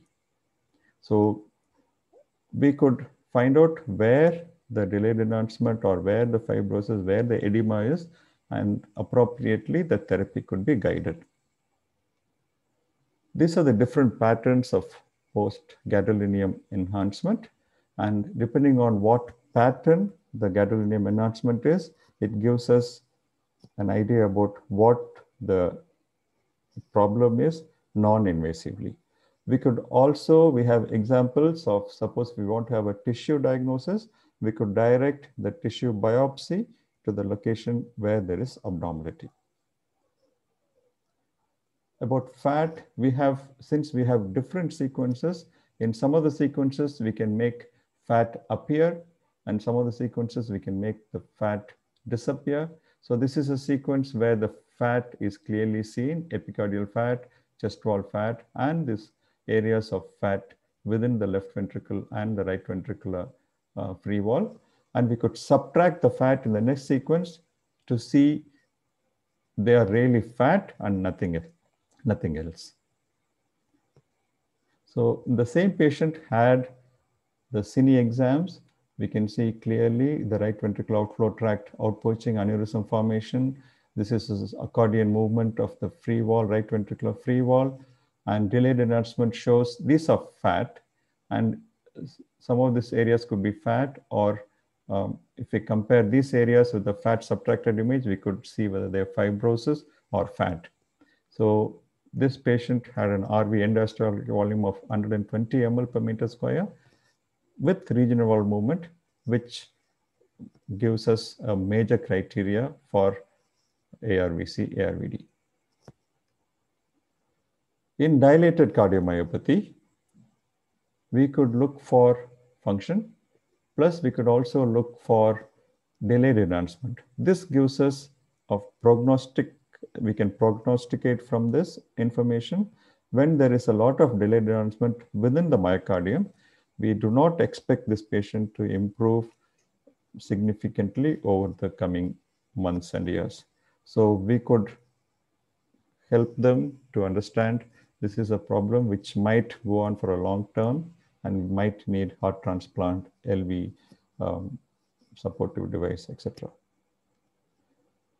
About amyloidosis, amyloidosis, this is a patient with hypertrophy of the ventricular muscle, mildly decreased systolic function.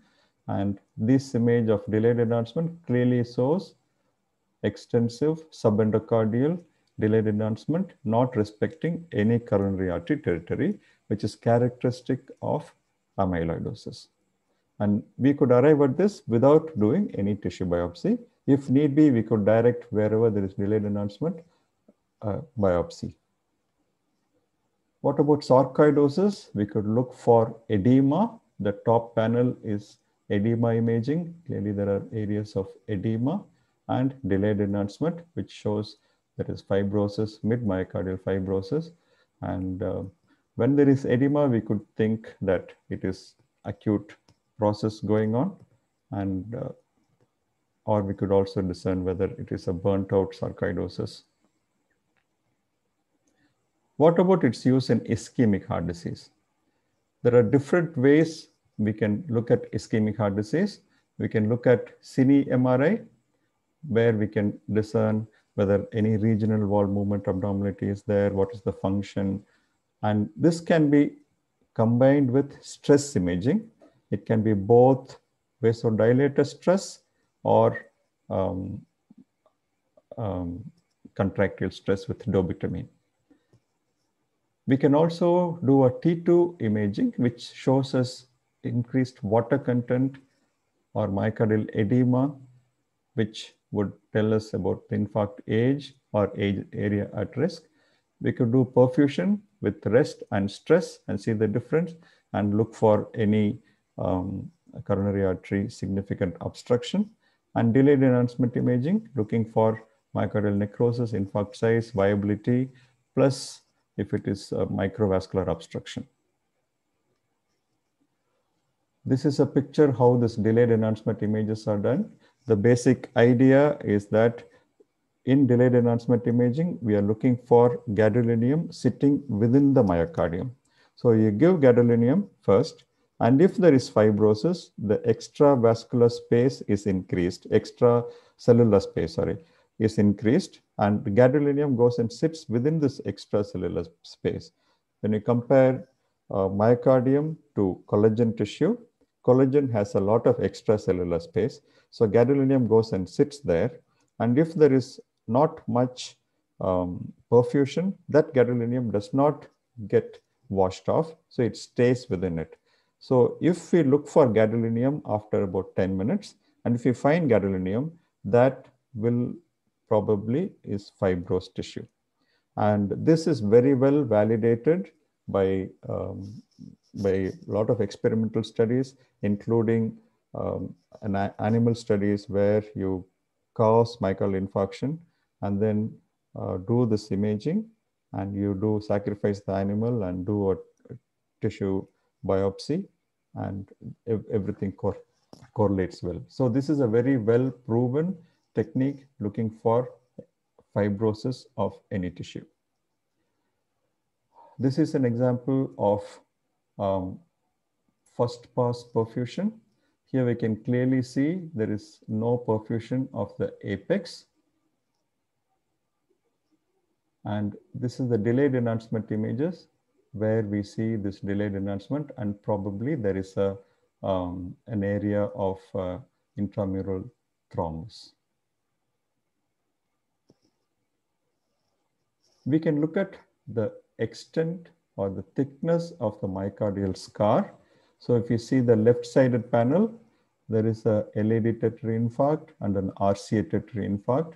The LAD territory, this is the uh, corresponding short axis slice and hypokinetic anterior wall, almost akinetic inferior wall. And inferior wall scar thickness will be probably around more than 50%. The LAD territory scar probably less than 50%. So we could say the LAD area is viable, RCA area is not viable. This is another on the left side panel. There is another example where there is an extensive RCA and LCX infarct LCX territory, RCA territory, including RV infarct. And all these areas are probably not viable. It is not worth pursuing this area for reperfusion. And this data can, be put into a 17 segment um, uh, bullseye chart, looking for both segmental function, scarring, and perfusion. And depending on it, we can decide on what to do further. So when to add CMR to our armamentarium? There are three situations where we would want a CMR. When both echo and other tests are equally reliable. If echo and other tests have poor echo window or an uncooperative patient who does not want to have a TOE. I have an example of a person for 10 years, he did not want to do an echo transesophageal echo to rule out a sinus venosus ASD. Finally, we detected sinus venosus ASD by cardiac MRI and underwent correction.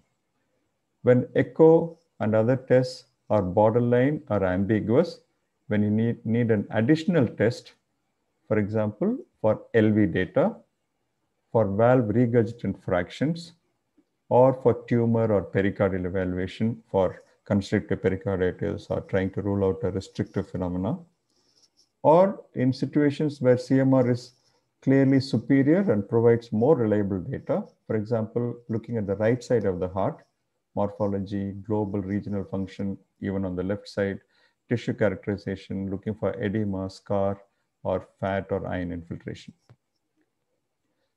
Now there are exciting techniques which are coming up. This is an XMR suite where we have um, the cath lab and this MRI suite adjacent to each other. The patient's couch goes from the cath lab to the MR. So this is very useful trying to calculate PVRA and SVRA. Initially, the patient goes to the MR and gets the anatomy evaluated, the flow evaluated. Then the patient is wheeled onto the uh, cath, get all the pressure data taken, and with vasodilator or pulmonary vasodilator, those things are done. Again, the patient is shifted back to estimate flow with vasod pulmonary vasodilator, and those data are uh, put into and to calculate PVR and SVRA. This is another exciting field where 4D flow mapping is coming up, where we could really see, we can tag each of these voxels or spots of blood and see where bloods go. We could even tag blood coming from the right upper pulmonary vein and see where that blood goes through the heart and we can detect PAPVC. We can also detect the reason for this is a patient with coarctation repaired plus bicuspid valve and the blood flow goes through like this with a swirling pattern causing this ascending aorta dilatation and uh, this can be used even now computerized data can be used to modify our surgical procedure to have optimum result. This is another picture where we can see which part of the left ventricle does not empty. So looking at the different, we can tag each voxel of blood. Voxel means a volume, small square um, cube shaped uh, volume. And um, we can tag each of those voxels with different characters. And we could see where blood does not move, what blood comes and where it goes. For lack of time, I'm not explaining this whole thing. What are the contraindication? Non-MR compatible pacemaker and ICD. Not only this, even if MR compatible, sometimes the, the pacemaker and the ICD comes in front of the heart. So imaging may be difficult. So some other mode of imaging probably is more uh, uh, informative. Magnetic foreign bodies in critical soft tissue, especially within the brain, if you have aneurysm clips or foreign bodies within the brain or eye, which are magnetic and claustrophobic patient.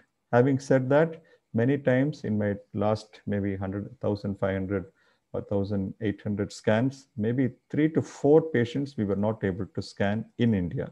So most of the time we will be able to overcome the claustrophobia with some anxiolytics and oral assurance. So to summarize, cardiac MRI is a versatile mode of evaluation. It has a bouquet of tools to evaluate the different aspects of the cardiac morphology and function. If one of them fail, the other would take over. It is a robust modality with many inbuilt validation tools as there are many different sequences evaluating different aspects of the heart structure and function. It is still evolving. It is only about 20 years old and new techniques are being developed all the time. So it is a te technology to be in and it's fairly safe without any major side effects. Thank you.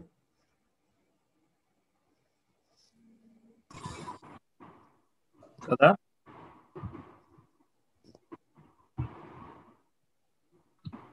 Elaborate lecture. Definitely many things we have learned from this lecture.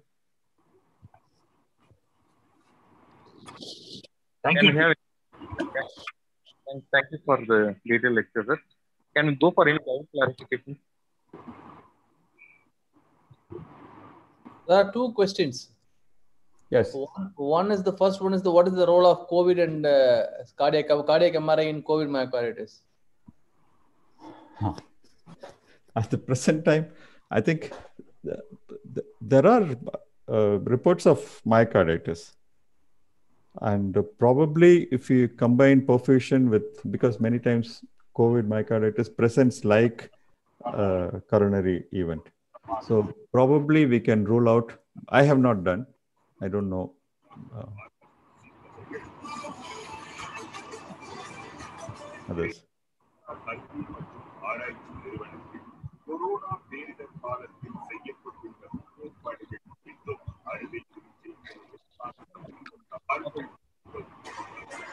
All right. Hello? Sir, another question from uh, audience. Yeah. Uh, which is the CT MRI for assessment of collaterals in the coarctation of aorta? Okay. Um, if you um, looking at collaterals, um, do we really need to know where the small collaterals are? If you want to look at any small collateral, CT would be the best modality. If we, um, but CT involves its uh, problems. I would go for uh, an MRI because I can look at see flow assessment I can do. Um, almost if you see the first picture that was actually we can it was a coarctation picture where generally most of the major vessels collaterals can be obtained can be seen. And since it's a it's a moving image we will also have an idea of probably where what would be the dimension of the lumen. And uh, suppose if you're thinking of a stent placement balloon dilatation what should be the length of the dynamically. Whereas ct will give us much better resolution image but static image. So there are uh, instances where people have taken uh, MR images and then looked at put the stent there and see with movement of the um, aorta during cardiac uh, action, what will happen to the stent? What will will it move this way, that way? What will happen?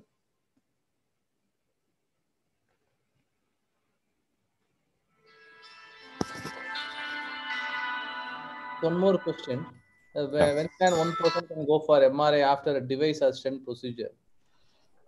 Nowadays, there's hardly any um, any contraindication after a device.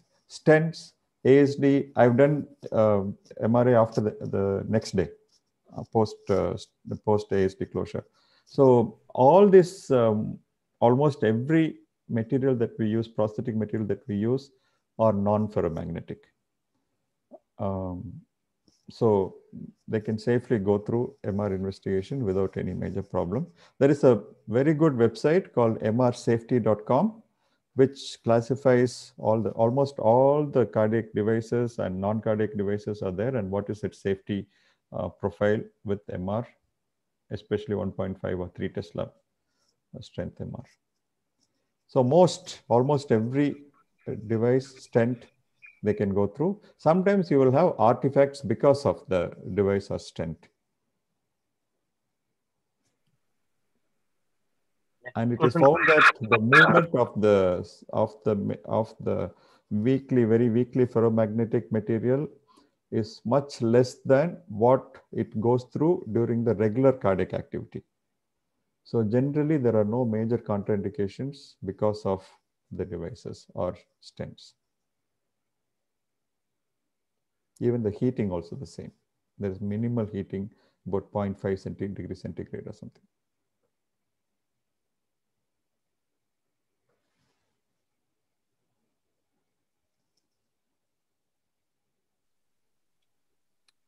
next question is uh, they've asked what are the preferred indications for 4D flow mapping versus conventional cardiac MRI?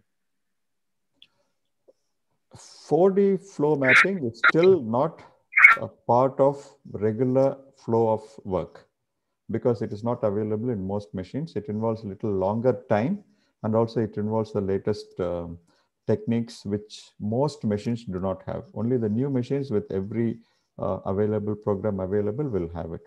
So 4D mapping, it gives us um, something like, as I showed in the picture, the, the blood swirling within, within the vessel or what is happening to um, the flow, not the real velocity, but uh, what is happening to the different uh, voxels of blood. So it will be useful if you are maybe thinking of aortic valve repair or something where the ascending aortic dilatation you want to prevent and that kind of thing. Also, uh, another place where 4D mapping might uh, be useful will be um, in Fontan circulation. If you're creating Fontan circulation, what will happen to IVC blood? What will happen to the SVC blood? How can you distribute IVC blood to both the lungs uh, equally? That it is still not, it is still in experimental use. Over the past 10 years, it's been exp in experimental use. So that means there is there are some major hurdles in the hardware aspect.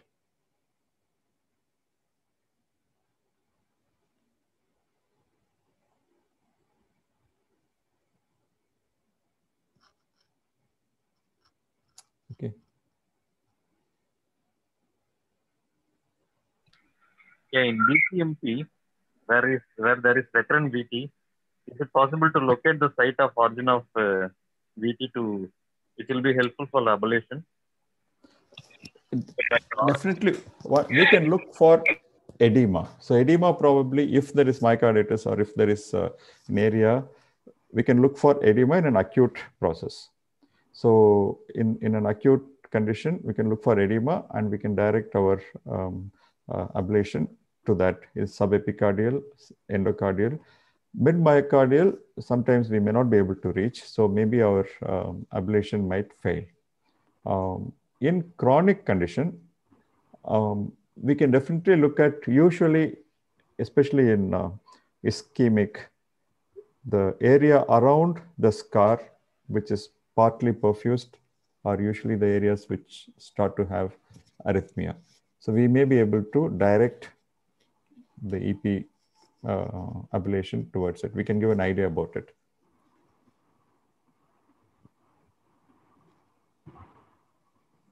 In DCM, as I said, there are uh, two. If you have a lot of delayed enhancement, we think probably this patient will not recover and will continue to worsen significantly. So we can prepare the patient for further therapies.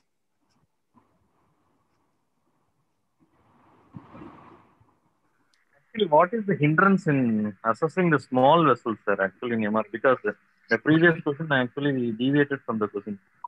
He has asked about uh, uh, collaterals in uh, um, coarctation of aorta, MAP cause in congenital heart disease, cyanotic heart disease. So this is pertaining to, I am also concerned about uh, physiological assessment of coronary stenosis. What is stopping MRI from going There forward are- in No, assessment? be- because the the um, as uh, uh, sir said, the resolution is less than what is what is available by CT or coronary regular coronary angio. So when you have a less resolution image, looking at that very reliably is not very good. Having said that, actually one advantage will be you do not see calcium in MR imaging. So it is an advantage because you subtract calcium. So the artifact of calcium goes away from your assessment. And uh, um, the proximal coronary arteries, even now, can be very reliably assessed. Two millimeter, three millimeter structure can be reliably assessed with MR non contrast images. But when you go from proximal, from mid to distal, it is still not clinically reliable test. But uh, even 1 ml flow, people have assessed 1 ml of flow or 2 ml of flow per heartbeat. And uh, it, it is a thing which is coming up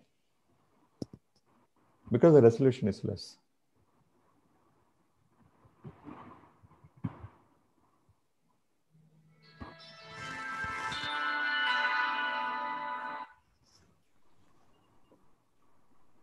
Uh, thank you, Dr. Krishnamurthy sir. Thank you, Dr. Jabra sir. It was a wonderful evening. Uh, you spent almost two hours and 30 minutes in uh, uh, in educating us, uh, educating all the postgraduates who are, who are exam going at present, uh, so that they have got some idea about uh, some basement basement uh, ideas about uh, CT of uh, heart and MR of heart. We have we actually had a series of lectures by Dr. Jabra sir in our department um, it's very difficult to uh, con- uh, talk about a CT scan and MRI in one session. They have they have done their best. They have um, uh, did a wonderful session. Uh, thank you all. Have a great evening. Uh, see you on next session where we will be discussing about TAVR and MITRE from postgraduate point of view. What what all the things that a postgraduate should be uh, knowing in, in case they are going to be asked in exams that, that will be they will be able to uh, clear their doubts also